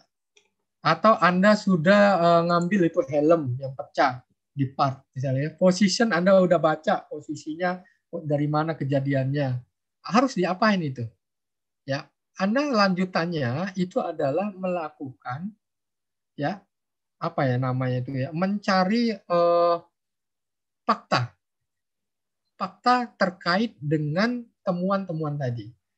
Ya, misalnya nih, misalnya Anda ketemu helm misalnya di helm. Anda harus tanyakan ke helm ini. Apa yang Anda mau cari dari helm ini? Itulah Anda mencari fakta. Bagaimana mencari fakta? Oke, kita menggunakan yang namanya 5W1 1H. Ya, 5W1 1H. Pernah lihat itu ya? What, where, who, when, why, how. Ya, apa, di mana, siapa, kapan, mengapa, bagaimana. Nah, ini adalah yang kita tanyakan ke bukti-bukti yang kita temukan tadi. Ya, misalnya kita ngambil helm tuh tadi, ya helm. Ya, kita tanyakan ke helm. Ya, tapi bukan nanya ke helm gimana, bukan ya. Maksudnya itu apakah helm ini punya standarnya SNI atau standarnya ANSI? Kita lihatin. Oke, standarnya ANSI Z89. Ini menjadi fakta. Ya, ini menjadi fakta. Seperti itu ya. Nah, ini biasanya kita masukkan ke dalam eh, formulir-formulir gitu ya. Oke. Saya coba buka ini salah satu contoh formulir ya. Ini nih uh, udah kebaca belum Pak Yuda? Ganti ya formnya. Oke, ini udah muncul di depan Anda fact finding form? Sudah, Pak. Sudah, Oke, Pak. ya. Nah, ya. jadi kalau Anda, Anda di lapangan tadi ketemu part, position atau paper tadi, Anda masukkan ke sini. Ya. Ini caranya ya. Oke, part yang pertama misal pecahan helm nih, Anda ambil pecahan helm tadi. Oke, kemudian Anda gunakan teknik 5W 1H untuk mencari objektif atau fakta. Ya, Misalnya saya contoh tadi ya, apakah helm sesuai standar ANSI? Oh, pas kita lihat di standar helmnya, oh ANSI Z89. Maka ini menjadi fakta. Gitu ya, menjadi fakta. Oke, Anda tanyakan lagi misalnya, uh, tidak harus semuanya ya.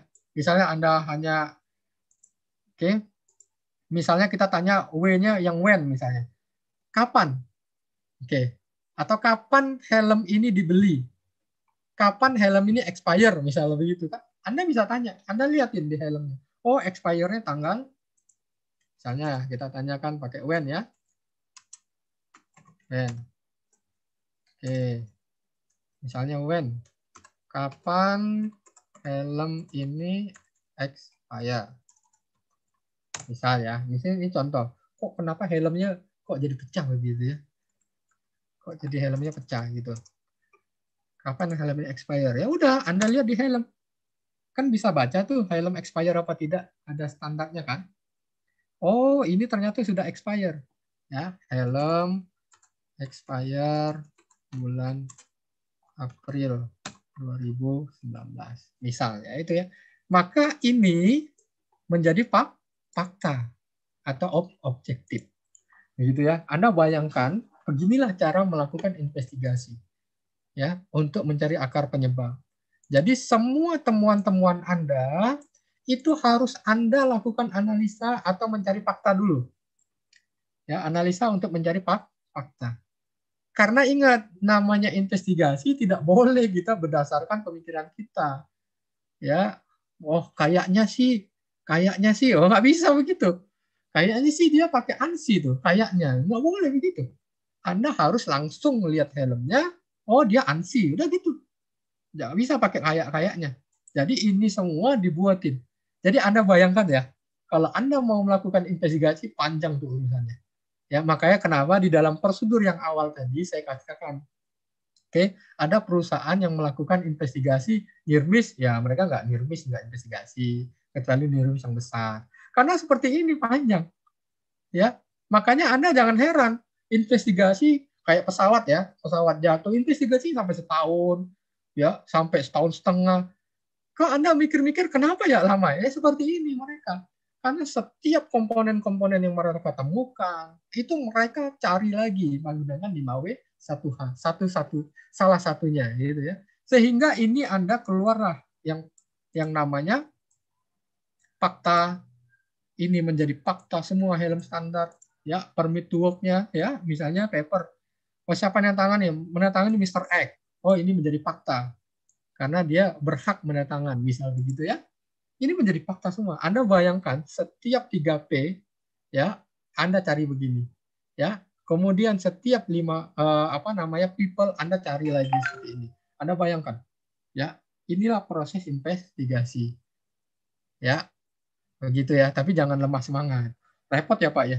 Paling enak tuh investigasi yang ya sering kita temukan ya, bukan Anda kali ya anda pernah ketemu investigasi, nah, ada kejadian nih panggil, panggil nih orangnya.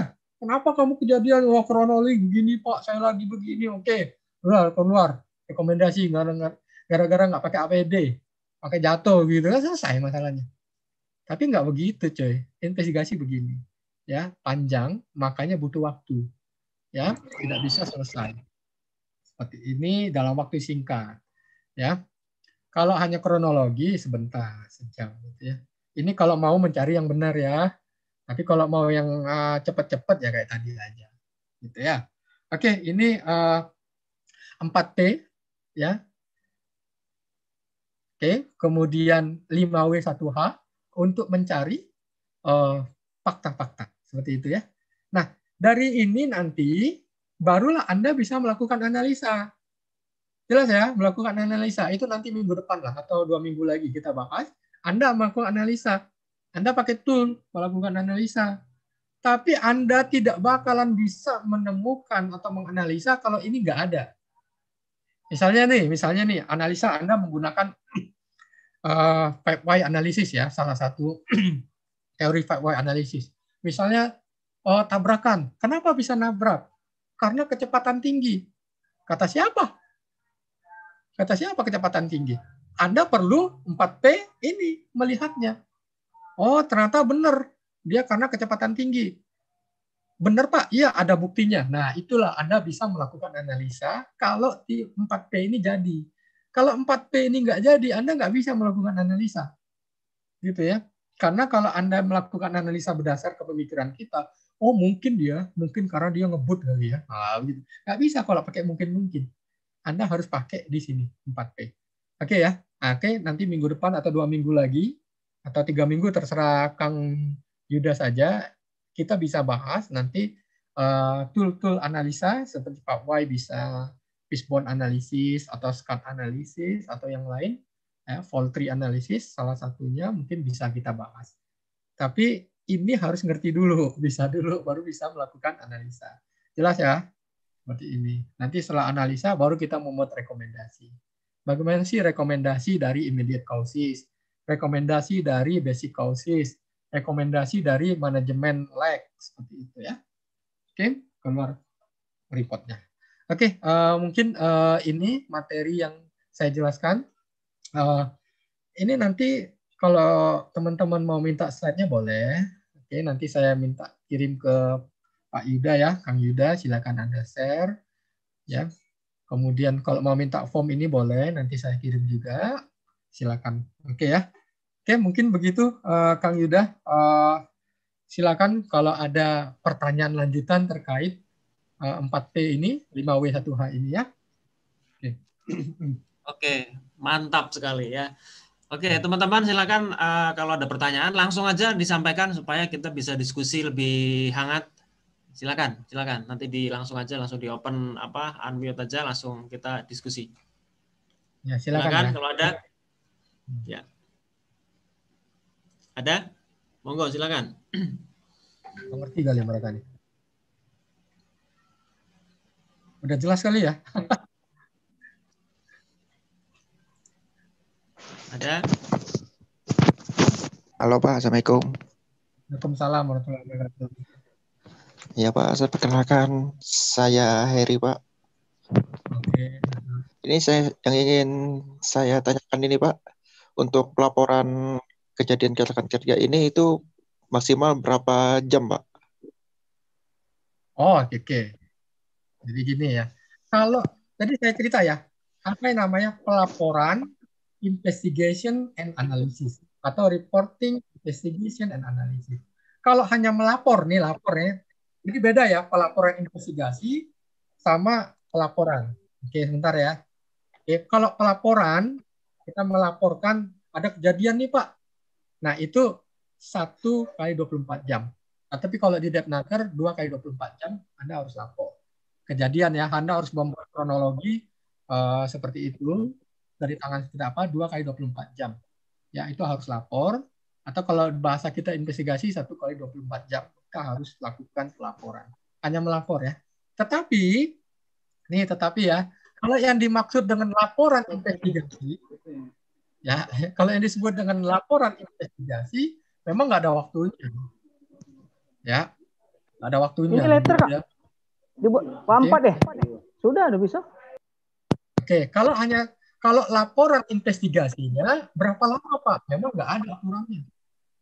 Ya, maka tadi saya cerita laporan investigasi pesawat itu bisa sampai satu tahun setengah baru keluar laporan investigasinya. Ya, oke. Tapi kadang-kadang kita itu minta sama klien kita, ya, karena pekerjaan kita stop, pekerjaan kita di stop, oke tolong investigasi dalam waktu seminggu selesai. Ya sudah berarti batas kita seminggu. Ya gitu ya. Jadi ya kapan sih melakukan pelaporan investigasi? Ya tergantung klien kita. Ya kalau klien kita minta seminggu ya anda harus kerjain dalam seminggu. Gitu ya. Tapi kalau seandainya di perusahaan anda misalnya di perusahaan anda nggak ada klien lah maksudnya itu hanya untuk internal anda ya tidak ada batasnya. Anda cari sampai menemukan yang paling bagus. Maksudnya itu benar-benar Anda cari penyebabnya gitu ya, bukan hanya sekedar laporan. Gitu ya. Seperti itu ya Mas ya. Mungkin maksudnya seperti itu ya. Jadi iya, pelaporan itu ya, ada dua, pelaporan awal itu berarti ada kejadiannya itu satu kali 24 jam. Ya, tapi kalau lapor ke Depnaker dua kali 24 jam ke BPJS. Tapi kalau disebut dengan laporan investigasi nggak ada waktu. Ya, Waktunya di mana? Biasa di klien. Kalau klien kita minta seminggu ya seminggu. Ya, kalau saya dulu pernah kejadian tuh, oh, sesegera mungkin. Ya, semakin lama kita melaporkan investigasi, berarti stop pekerjaan kita semakin lama ya, semakin rugi kita ya seperti itu. Ya, Oke, jadi di klien kita. Tapi kalau anda di perusahaan sendiri ya nggak ada batasnya. Anda cari yang paling bagus. Maksudnya itu paling benar investigasi. Ya, oke, silakan yang lain.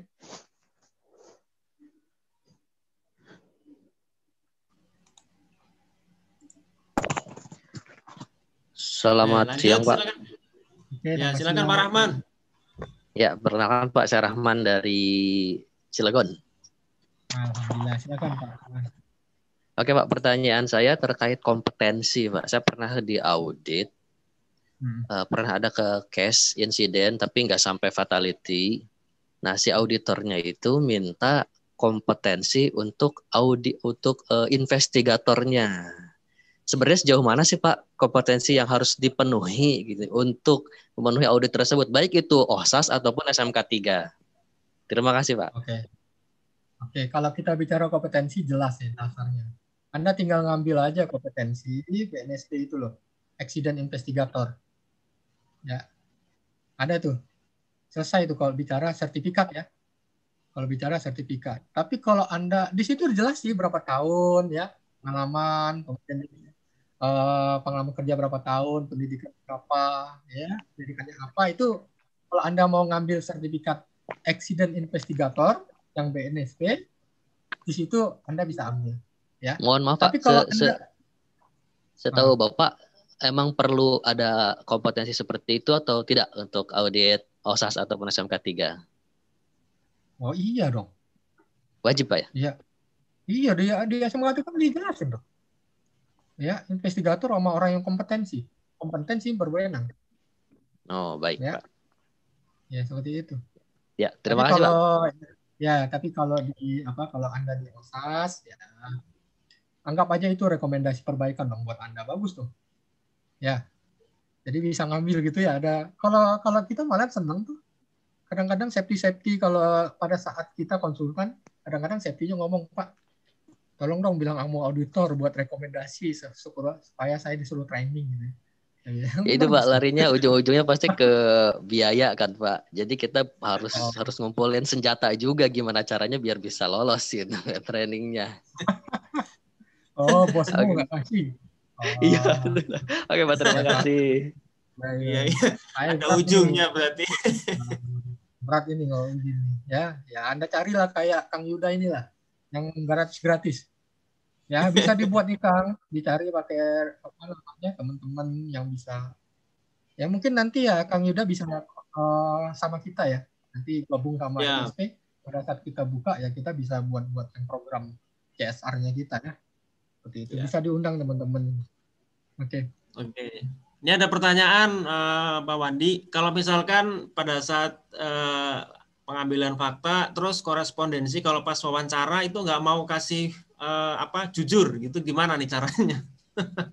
ini paling banyak begini. Ya ini ya. saya cerita, jangan kan anda saya juga pernah kasus begini berapa kali investigasi nggak jujur. Tapi ya tadi Anda nggak bisa ngomongin ngomong, ya Anda bohong. Anda tahu dia jujur nggak jujur kan dari mana? Makanya Anda harus mencari saksi-saksi yang lain. Ya. Jadi misalnya kayak dulu saya kasus ya. Saya eh, apa si kapten kapal ini nggak jujur. Saya kan tahu secara logika ya, secara logika. Gimana kapal bisa nabrak kalau pelan? Itu kan? Gimana kapal atau Anda naik motor lah, Anda pelan, Anda bisa nabrak yang jaraknya eh, 100 meter dari ini. Gimana? Ya kan nggak mungkin ya. Tapi kan kita nggak boleh ngomongin ke dia. Ah, Bapak nih bohong nih. Waduh. Habis Anda nanti gitu ya. Kita harus tetap mencatat. Terus langkahnya bagaimana? Tadi Anda harus mencari bukti fakta-fakta yang yang 3P tadi. Ya, kalau Anda punya GPS, Anda punya sistem tracking ya, ya jelas faktanya. Oh, kemudian nih, Bapak ngomong tiga, misalnya 10 knot. Ya kan, nanti kita cari fakta yang lain. Oh, ternyata kecepatannya 8 knot, 18 knot. Misal seperti itu kasus saya waktu itu. Ya berarti kita ngambil yang jelas dong faktanya. Gitu ya. Tapi bagaimana Pak kalau faktanya nggak ada nih GPS kagak ada, tracking kagak ada. Berarti Anda harus mencari dari yang lain. Siapa? Anak buah yang ada di situ, misalnya gitu ya, anak buah yang ada di situ. Ya. Tapi saya ingatkan ya, yang namanya manusia, namanya informasi, ada dua. Ada yang jujur, ada yang enggak. Anda itu harus punya feeling lah begitu. Kalau investigator ini benar apa enggak ya gitu ya seperti itu. Kita investigator punya feeling seperti itu. Ya, saya juga begitu. Saya panggil saya panggil anak ABK yang lain. Oke. Nah, ini penting nih. Ini salah satu trik ya. Anda untuk menanyakan berapa lama dia kerja di satu perusahaan. Ya, biasanya kalau orang Anda tanyakan, Mas, Anda kerja di sini udah berapa lama? Oh, baru dua minggu. Wah, anda di dalam mindset Anda pasti bukan berpikiran jelek ya, pasti mikirnya, ah ini orang nggak jujur. Jelas nih. Saya juga begitu. Berapa lama mas kerja di sini? Oh, saya baru dua minggu pak. Oh, saya udah istilahnya itu hopeless lah kalau mau cari kejujuran. Berapa kecepatan kapten waktu bawa? Oh, enggak kok pak, pelan katanya. Berapa? Ya sekitar sekitar 8 knot. Oke, ya sudah. Saya nggak mau wawancara panjang-panjang. Saya panggil ABK yang lain panggil ABK yang lain, Mas, Bapak berapa lama kerja di sini? Saya udah tiga tahun. Wah, ini harapan saya nih. Saya harapan. Ya, harapan saya aman kayak ini. Gimana itu kapten kapal? Waduh, Pak, baru jujur. Biasanya orang yang sudah lama kerja, pasti dia bisa lebih jujur dan lebih tahu situasinya. Ya, itu trik-trik memang seperti itu. Oh, dia baru tahu, oh iya Pak, ini ngebut Pak, di bawah kapal. Kan prosedurnya ada, 500 meter sebelum fasilitas harus melakukan yang namanya reverse. Harus mencoba. Kalau bahasa kita coba ngerem lah kalau bahasa kita ya. 500 meter sebelum ketemu fasilitas offshore misalnya. Ya kan udah harus mencoba ngerem. Dia jalankan. Oh, enggak, Pak. Katanya. Ya udah, berarti saya catat. Saya catat semuanya. Gitu ya, panggil kapten yang lain. Hmm. Panggil. Jadi kalau ada yang nggak jujur seperti itu, Anda harus mencari yang lain yang bisa Anda tanya. Seperti itu ya. Gimana Pak semuanya nggak jujur? Ah ini repot nih. Ya, Anda ini yang disebut akan lama ketemu ketemunya seperti itu. Ya, saya nggak tahu gimana caranya kalau semuanya nggak jujur.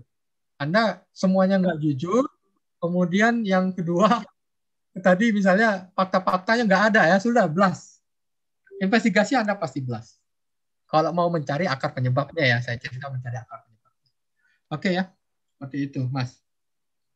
Oke, ada pertanyaan lagi dari Pak Eko Saputra nih. Pak, misalkan kejadiannya itu satu hari yang lalu, uh, tapi hmm. baru diketahui hari ini. Cuma fakta-faktanya sudah berubah, mereka juga mungkin sudah kerja lagi, hanya tinggal mungkin hanya hmm. korbannya saja mungkin. Nah itu gimana Pak? Ya sudah wawancara mau nggak mau. Ya. Hanya wawancara. Ya, ya. udah berubah diapain? Nah. Ya, ya. Wawancara. Anda hanya berharap dari wawancara. Dan banyak kejadian yang begini nih Kang Yuda. Paling banyak nih kejadian begini. Asli paling banyak kejadian begini. Uh, kejadiannya udah dua hari tiga hari orang udah kerja uh, tempat kejadian udah selesai ya sudah. Tapi baru bukan laporan. berarti saya iya baru, baru lapor. Saya mau nggak ada wawancara. Harapan Anda kejujuran udah gitu aja, Anda bismillah aja. jujur ya masih gitu kan. Jadi nggak jujur selesai Anda investigasi. Ya, makanya dari awal saya cerita ya.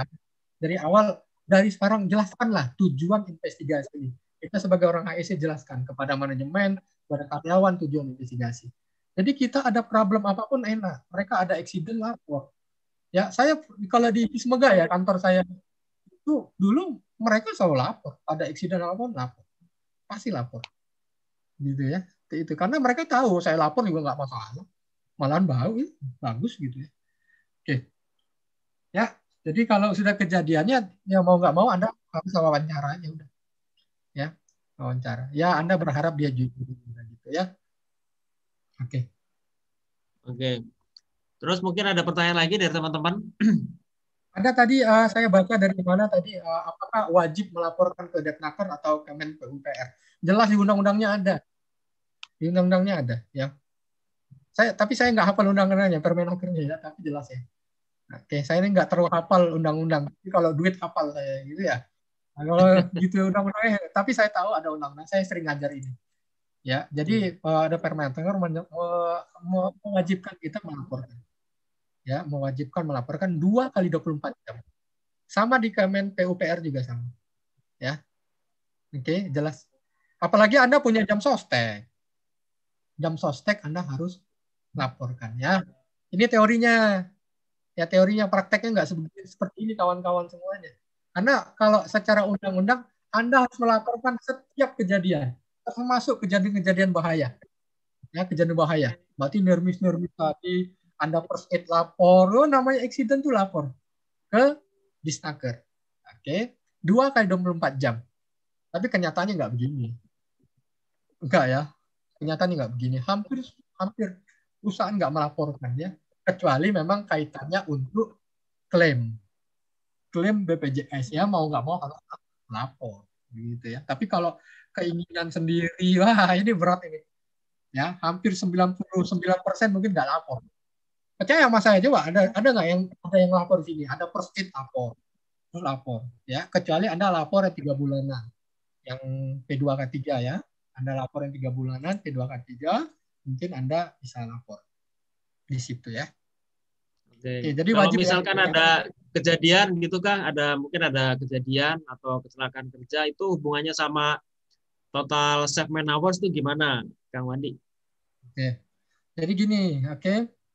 Anda harus bedakan yang namanya man hours sama set man hour. Ya. Ini beda. Ya, man hour sama set man hour. Gitu ya. Kalau man hour itu tetap bergerak. Ya, Anda mau mau apa ada accident apa pun man hour tetap bergerak. Ya, itu man hour. Gitu. Tapi kalau set man hour berarti adalah jam kerja selamat. Gitu ya. Misalnya nih dari bulan Januari sampai Februari, Maret, April sampai November itu nggak ada accident yang namanya lost time. Ya, set man hour untuk lost time ya, ingat ya, hanya untuk lost lost time. Oke ya, jadi dari Januari sampai November 31 ini set nih, set man hour. Berarti set man hour sama man hour sama. Begitu ya. Man hour sama set man hour ini sama. Januari sampai deh Desember. Sampai uh, November tadi ya. Kemudian tiba-tiba bulan Desember tanggal 5 misalnya ya. Tanggal 5 itu terjadi lost time. Ya, accident lost time. Maka segmen hour-nya akan putus. Ya, segmen hour-nya akan putus yang dari Januari sampai November. Putus segmen hour. Tapi kalau main hour tetap jalan ya main hour tetap jalan ya segmen hournya putus berarti anda memulai memulai segmen hour lagi dari tanggal 5 Desember 5 Desember mulailah segmen hour lagi terus ya.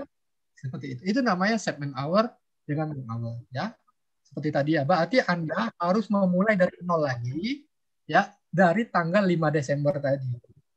Ya, berarti mulai segmen hour 5 Desember terus sampai ke 2021, 2022, 2023 itu segmen hour menjadi nol. Ya. Tapi untuk yang lost time. Ya, jadi yang main segment hour hanya untuk lost time.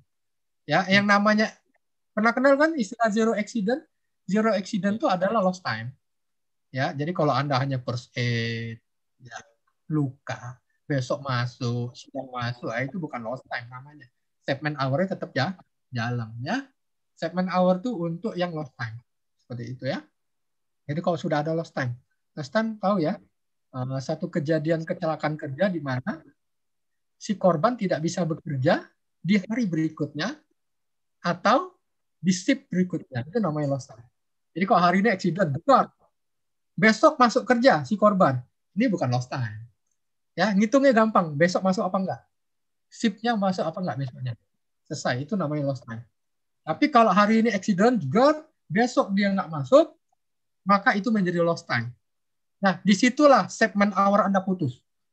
Ya, segmen hour Anda putus. Ya, jadi hati-hati juga nih buat teman-teman, misalnya accident kecil doang gitu kan, sampai rumah ke dokter, dok minta dong surat surat surat itu surat istirahat. Nah, ini menjadi time. kecil-kecil doang gitu ya. Begitu. Oh ya Pak, mau tanya Pak. Ya. Dampaknya dari lost time itu apa Pak? Yang dari yang Bapak sebutkan tadi barusan. Lost time itu adalah kejadian kecelakaan di mana si korban atau ada korban yang tidak bisa masuk kerja di hari berikutnya. Udah itu lost time. Ya. Jadi misalnya nih, kejadian nih hari ini, jam 9 pagi nih hari ini ya. Anggap aja hari ini Senin misalnya. Kejadian ya, judul accident. Ya. Nah, besok si korban ini dia masuk kerja. Nah, ini enggak ini enggak lost. Ini enggak berarti zero accident masih kecapai. Gitu ya. Tetapi kalau hari ini accident, ya, besok dia nggak masuk kerja, maka itulah terjadi lost time. Nah, di sinilah zero accident Anda tidak tercapai. Ya, zero berarti, accident Anda tidak tercapai Gitu. Ya. Berarti zero accident kita tidak tercapai, Pak ya. Itu dampaknya bagi perusahaan itu bagaimana, Pak? Apa ada dampaknya, Pak? Ya, tergantung perusahaannya. Kalau perusahaannya bagus, mereka salah satunya eh, pe, apa pembentukan misal reward ya, yeah. uh, bonus berdasarkan dari zero accident, maka kalau terjadi zero accident tidak tercapai, berarti bonusnya hangus. Gitu kan? Tapi kalau perusahaannya biasa-biasa aja, ya nggak ada apa-apa masalah sama kita. Ya paling ke statistik kita tadi. Ke statistik ke tadi, Pak ya. Ya, segmen hour-nya ya. Yang iya. kembali ya. ke nol itu segmen hour-nya, bukan men hour-nya ya. Segmen hour-nya. Nanti balik ya, ke nol lagi. Kadang-kadang kali. Kadang-kadang begitu Jadi, juga pernah. Ya, ya kadang -kadang, suruh masuk tapi nggak kerja apa-apa. Iya, kadang-kadang ini Pak, banyak dari pekerjanya tuh alasannya itu tadi dap dapat keterangan dari dokter suruh istirahat. Nah, seperti itu. Nah, itu bermasalah itu nanti. Kalau Anda main statistik itu menjadi lost time Anda. Ya. Menjadi lost time Anda. Ya. Gitu. Okay. Misalnya di itu menjadi lost time itu. Iya, Pak. Ya, tapi tergantung lah. Tapi kalau perusahaannya perusahaan misalnya perusahaan ada yang santai-santai aja ya nggak ngaruh apa-apa. Tapi kok perusahaannya kinerja berdasarkan dari lost time, dari zero accident, wah bisa nggak repot itu bonus bisa nggak dapat. nah, makanya dijaga. Oke, silakan ada lagi yang tanya. Nah, ini dari Pak Heri Pras nih. Kalau sudah investigasi dari set terus dilaporkan ke head office, terus tanggapannya hmm minta HSC-nya buat kasih SP. Nah, balik lagi ke SP. Itu gimana nih tanggapannya kita nih? Nah, berarti rekomendasi Anda yang salah. Rekomendasi Anda dong. Masa ya rekomendasi? Tapi di jangan-jangan di dalam rekomendasinya ada Anda menyebutkan gara-gara orang yang pakai ini. Ya, rekomendasi Anda yang salah. Ya, berarti Anda melakukan laporan investigasi itu temuan akar penyebabnya penyebab langsung. Padahal yang tadi saya jelaskan, penyebab ini adalah basic causes atau dari lack of management. Seperti itu. kalau sampai ke lack of management, nggak mungkin Anda bisa mengeluarkan yang namanya SP. Jadi itu ya. Jadi jelas rekomendasi Anda berarti itu keluarnya menyalahkan.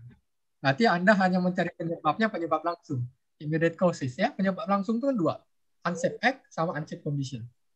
Gitu ya. Nah, unsafe act berarti orang. Berarti Anda buat tuh temuannya penyebabnya adalah karena si A tidak menggunakan APD, si A tidak melanggar peraturan safety. Anda keluarlah rekomendasi. Akhirnya dia masuk ke manajemen, udah kasih sanksi, kasih SP. Berarti rekomendasi Anda yang salah. Ya. Yang masih banyak yang begini nih, masih banyak. Uh, Pak, ya. uh, mau tanya dong Pak. Iya silakan. Silakan. Uh, uh, misalnya, uh, kenalin Pak, saya kenalin Pak. Halo. Ya, ya silakan ya. Pak.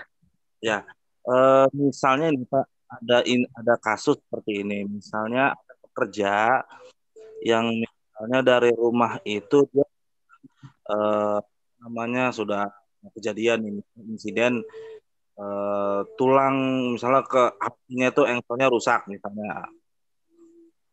Terus dia masuk nih memaksa untuk uh, masuk ke dalam um, pabrik kerja. Mhm. Nah, sampainya di pekerjaan yang tadi insiden di luar pabrik masuk ke pabrik terus dia kesenggol apa nih pak misalnya kesenggol uh, barrier lah misalnya nah itu hmm. apakah uh, itu kategori itu masuk kategori apa ya? ada rekomendasi dari untuk keluar apakah itu masuk kategori LTA atau mana aja pak Oke, uh, ini agak putus-putus ya saya jadi terlalu ini ya. Oh. Jadi oke okay. uh, eh, kalau saya baru dengar tadi jadi keluar rumah keluar rumah dia accident. Iya jadi jadi insiden itu terjadi di luar pabrik. Oke okay, oke. Okay. Uh, akan tetapi uh, dia memaksakan untuk masuk nih dalam kondisi yang sudah uh, terkena oh, insiden itu. Misalnya ya, ya. engsel kakinya uh, engsel kakinya misalnya rusak nih Pak. Atau geser lah hmm. kalau kita bisa bilang. Nah, nah sesampainya di pabrik, ini pekerja ini misalnya kesenggol barrier gitu Pak.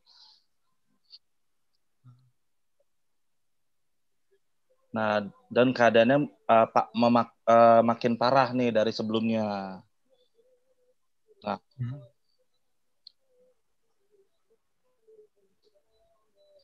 ya keadaannya itu makin parah. Terus uh, si pekerja ini otomatis kan dia ke klinik kan untuk melaporkan kondisinya. Ah. Nah, apakah ini terma uh, terus dari klinik ini direkomendasikan untuk diperiksa dirujuk ke rumah sakit? Wah. Pertanyaannya Pertanyaannya apakah ini masuk kategori LTA atau MTA doang? Oke, oh, gampang okay. sebenarnya. Gampang. Ya. Hmm. Tinggal liatin besok dia masuk apa enggak dia masuk apa enggak gitu. Kalau dia masuk, berarti dia hanya MPI. Tapi lihat ya, di atas MPI itu ada RWDC. Ya, di atas MPI itu ada RWDC, restricted case. Oke. Okay? Nah, kalau seandainya besok dia masuk, kemudian tidak bisa bekerja normal, ya normal waktu atau normal tugasnya, maka dia menjadi RWDC, ya restricted work case ya. Tapi kalau dia besok masuk kerjanya normal maka jatuhnya MTI medical treatment ya. Oh. gitu aja. Tapi kalau ternyata besoknya dia nggak masuk maka menjadi lost time LTI ya. Itu aja ngeliatinnya gampang. Oh, oke okay, paham. Oke okay, iya. terima kasih lihatin aja. Besok masuk lah ya kalau dia masuk ya, iya, iya. tinggal ada dua kondisi hmm, ya, okay. normal apa nggak normal kalau dia kerja normal maka MTI kalau dia nggak kerja normal, berarti dia masuk RWDC, restricted work days. Seperti oh. itu aja. Ya. Oke, Pak. Tapi kalau nggak masuk, ya, ya. Oke, baik. Terima kasih. ada pertanyaan lagi satu di beri kesempatan satu lagi silakan. Ada?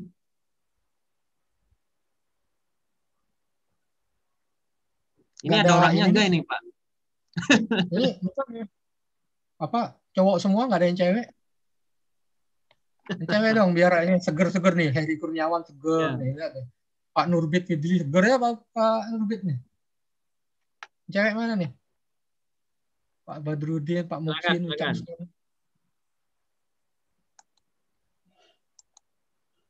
Ya silakan, nggak ada lagi. Oke, mungkin uh, belum ada pertanyaan ini. Ceweknya lembur pak. Oh iya. lembur apaan nih? Iya lembur. Waduh, lembur apa lagi? Oke, okay, okay. mungkin untuk uh, sesi tanya jawab nanti kalau misalkan ada silakan tanya. Mungkin Pak Wandi ada apa? Ada untuk dia sampaikan untuk terakhir sesi terakhir. Silakan. Oke. Okay. uh, eh, jadi ini bukan promosi ya. Saya minta ke Pak apa Pak Yuda. Uh, di LSP sama PPI ini pun kerjasama. Uh, kita ada pendidikan safety officer development program buat saudaranya ya. Kalau saudaranya mau ikut uh, safety nanti bisa daftar di Pak Yuda. Tapi sekolahnya nanti di Depok ya. Di Depok di tempat di LSP Oke, okay, ada uh, kan SODP ya, SODP. Mungkin saya kasih slide sedikit ya. Mungkin udah pernah lihat SODP belum ya? Nah, jadi SODP itu sekolah. Jadi ditayangkan Pak Wandi ya. Oh ya. Ini ya. SODP itu sekolah safety di Indonesia ya. Oke. Ini satu-satunya di Indonesia nih nanti sama PPI ini. Kan? Ini kita mau buka safety officer 18 Januari 13 April 2021. Ini sekolahnya agak panjang 3 bulan ya. Oke. Oke, ini ada video.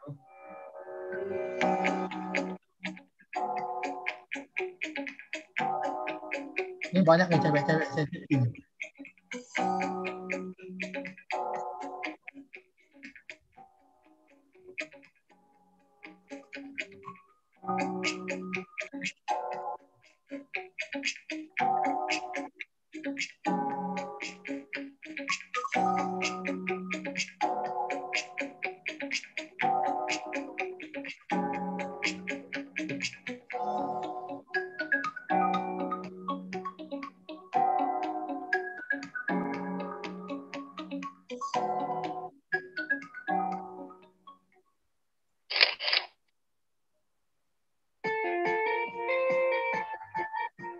Trainingnya di sini nanti Depok ya.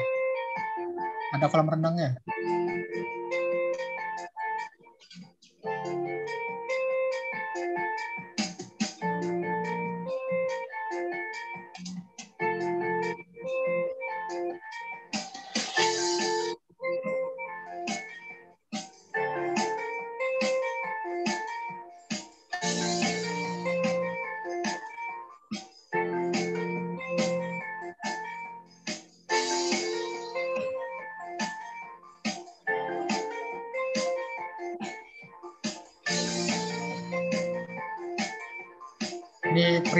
Perpisahan nih.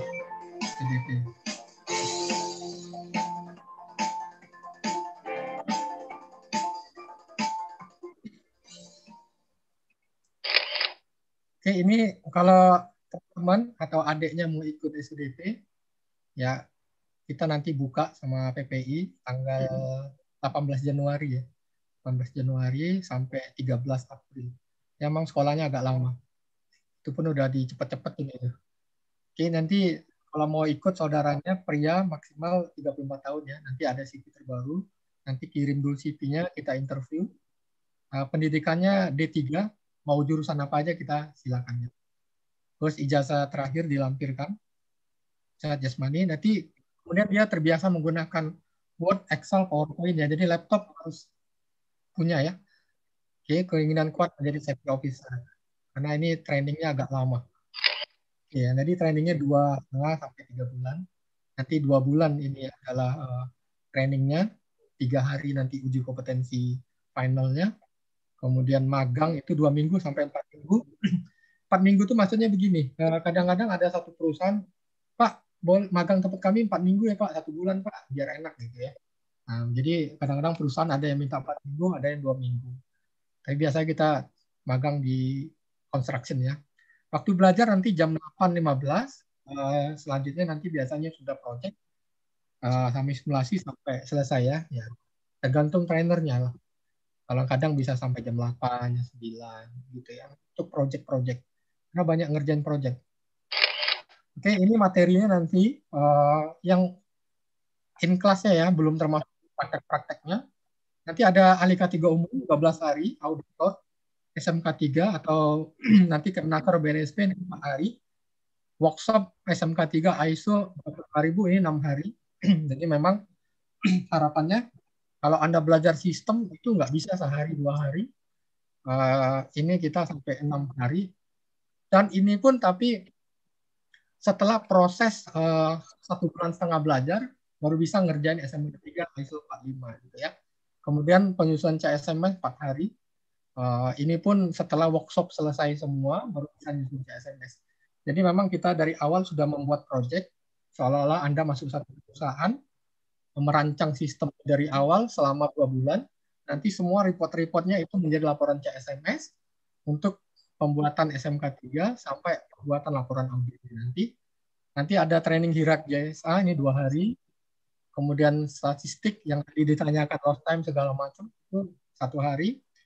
Uh, supervisi WAH Kapolri dua hari. Ini ini nanti kalau kita belajar ini sebagai safety masuk ke lapangan ada pekerjaan WAH atau scaffolding kita bisa mengawasi sebagai seorang safety. Bukan bukan membongkar-bongkar ya bukan ya. Mengawasin pekerjaannya. Kemudian ada PTW sama Luto supervisor yang dua hari ya. Kemudian ada supervisi confined space sama H2S control dua hari. Ini kalau kita sebagai safety ada pekerjaan confined space, kita bisa ngawas ngawalin gitu ya, ngawasin apa yang harus kita lakukan, persiapannya semuanya. Kemudian supervisi lifting dua tiga hari kita ngawasin sama prakteknya nanti. Kemudian incident investigation ini tiga hari, nanti kayak hari ini. Kan hari ini kita nggak pakai latihan-latihan ya, nggak latihan wawancara. Tapi kalau training beneran kita latihan, latihan simulasi wawancara. Oke, kemudian hazardous material control, MS, oh sorry ini ini dua hari ya. Ini bagaimana ngawasi material berbahaya. Kemudian OTP HSE performance ini dua hari. Jadi bagaimana nanti Anda merancang HSE plan, eh, membuat program kerja ini dua hari, sama melakukan review kinerjanya. Emergency preparedness dua hari, Oke, ini udah ada firefighting first aid dua hari. Ini training-trainingnya ya, uh, yang dapat sertifikatnya. Oke, nanti ada praktek harian juga seperti ini ada toolbox harian, safety meeting, praktek dari trainer, safety inspection, safety hmm. induction, observation cut, safety time, safety reward, time sheet statistik, review undang-undang, misi warna. Ini adalah praktek-praktek harian mingguan. Jadi selain training, ada praktek-praktek memang uh, nanti pada saat di lapangan sudah terbiasa. Ya, seperti ini ya. Nah ini site visit ini sama magang adalah untuk peningkatan kompetensi di lapangan. Tapi memang pada saat kita training kita juga site visit ya. Misalnya kita belajar scaffolding berarti kita site visit ke scaffolding. Nanti ada pekerjaan lifting lifting lifting kita ke lapangan nanti ya. Oke, site visit. Nah ini kita eh, apa? Contoh ke construction PPLI. Nah ini biaya pelatihannya 16 juta 250 ya tapi nanti Anda siapin sama servisus.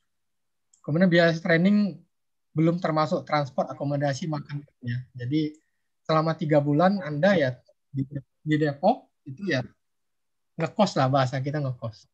Gitu ya. Oke, ini contoh. Hai, nama saya lagi.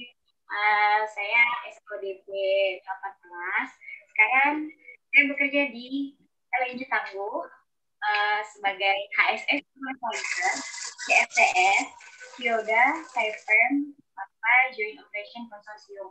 Kalau misalnya teman-teman tahu, LNG Tangguh itu apa sih? LNG Tangguh adalah perluasan uh, proyek perluasan kilang minyak uh, terbesar nasional yang sekarang ada di, sebelum kita masuk SODP, kita harus mengikuti tahap seleksi SODP.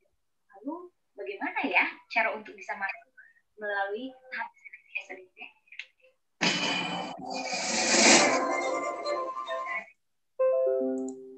SODP yang pertama, kamu harus lulus administrasi dulu. Salah apa sih? Bahwa kamu harus lulusan D3 atau S1. Kemudian setelah kamu lulus administrasi, kamu akan uh, mendapatkan kuota. Kuota di mana satu kali program kelas itu hanya maksimal 15 sampai 20 orang. Jadi buruan deh kamu daftar.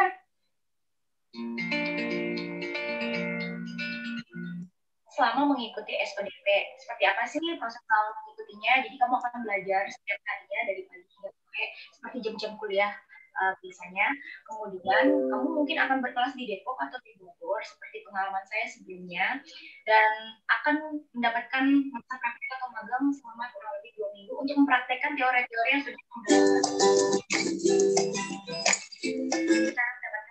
Nah, bagaimana sih kamu bisa mendapatkan kamu. Jadi kamu harus melalui yang namanya uji kompetensi. Apabila kamu gagal dalam uji kompetensi, kamu bisa menyelesaikannya di tempat magangmu atau tempat kerjamu agar bisa mendapatkan sertifikat. Mungkin kamu nggak bisa lulus saat itu, tapi kamu mungkin akan lulus lebih lama dibanding teman-teman yang lain.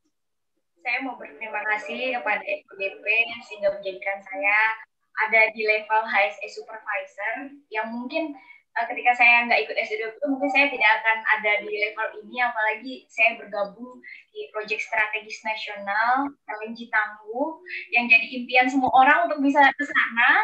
Uh, saya ingin menyempatkan teman-teman sekalian yang ingin bergabung ke SLDP jangan manja uh, bersemangat terus uh, saya yakin setelah dari SLDP justru akan meningkatkan taraf ekonomi teman-teman sekalian.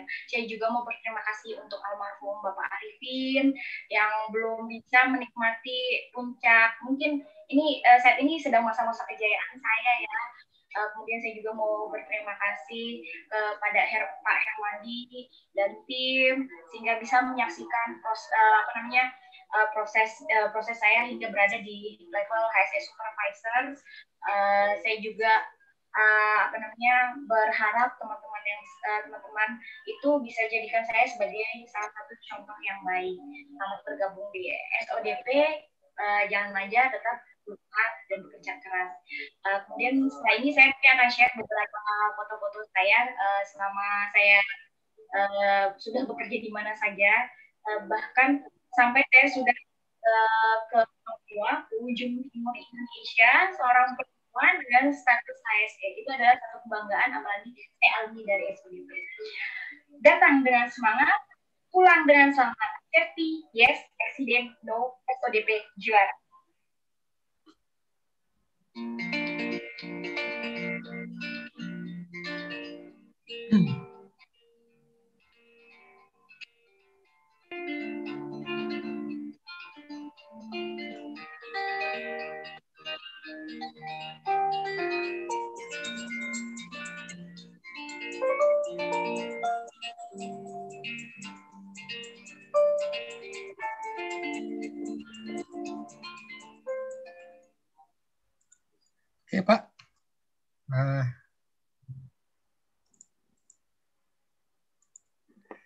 Itu ya program SODP. Uh, eh, kalau ada teman-teman yang mau ikut, adiknya saudara, oke memang tadi kita nerima tuh nggak masalah.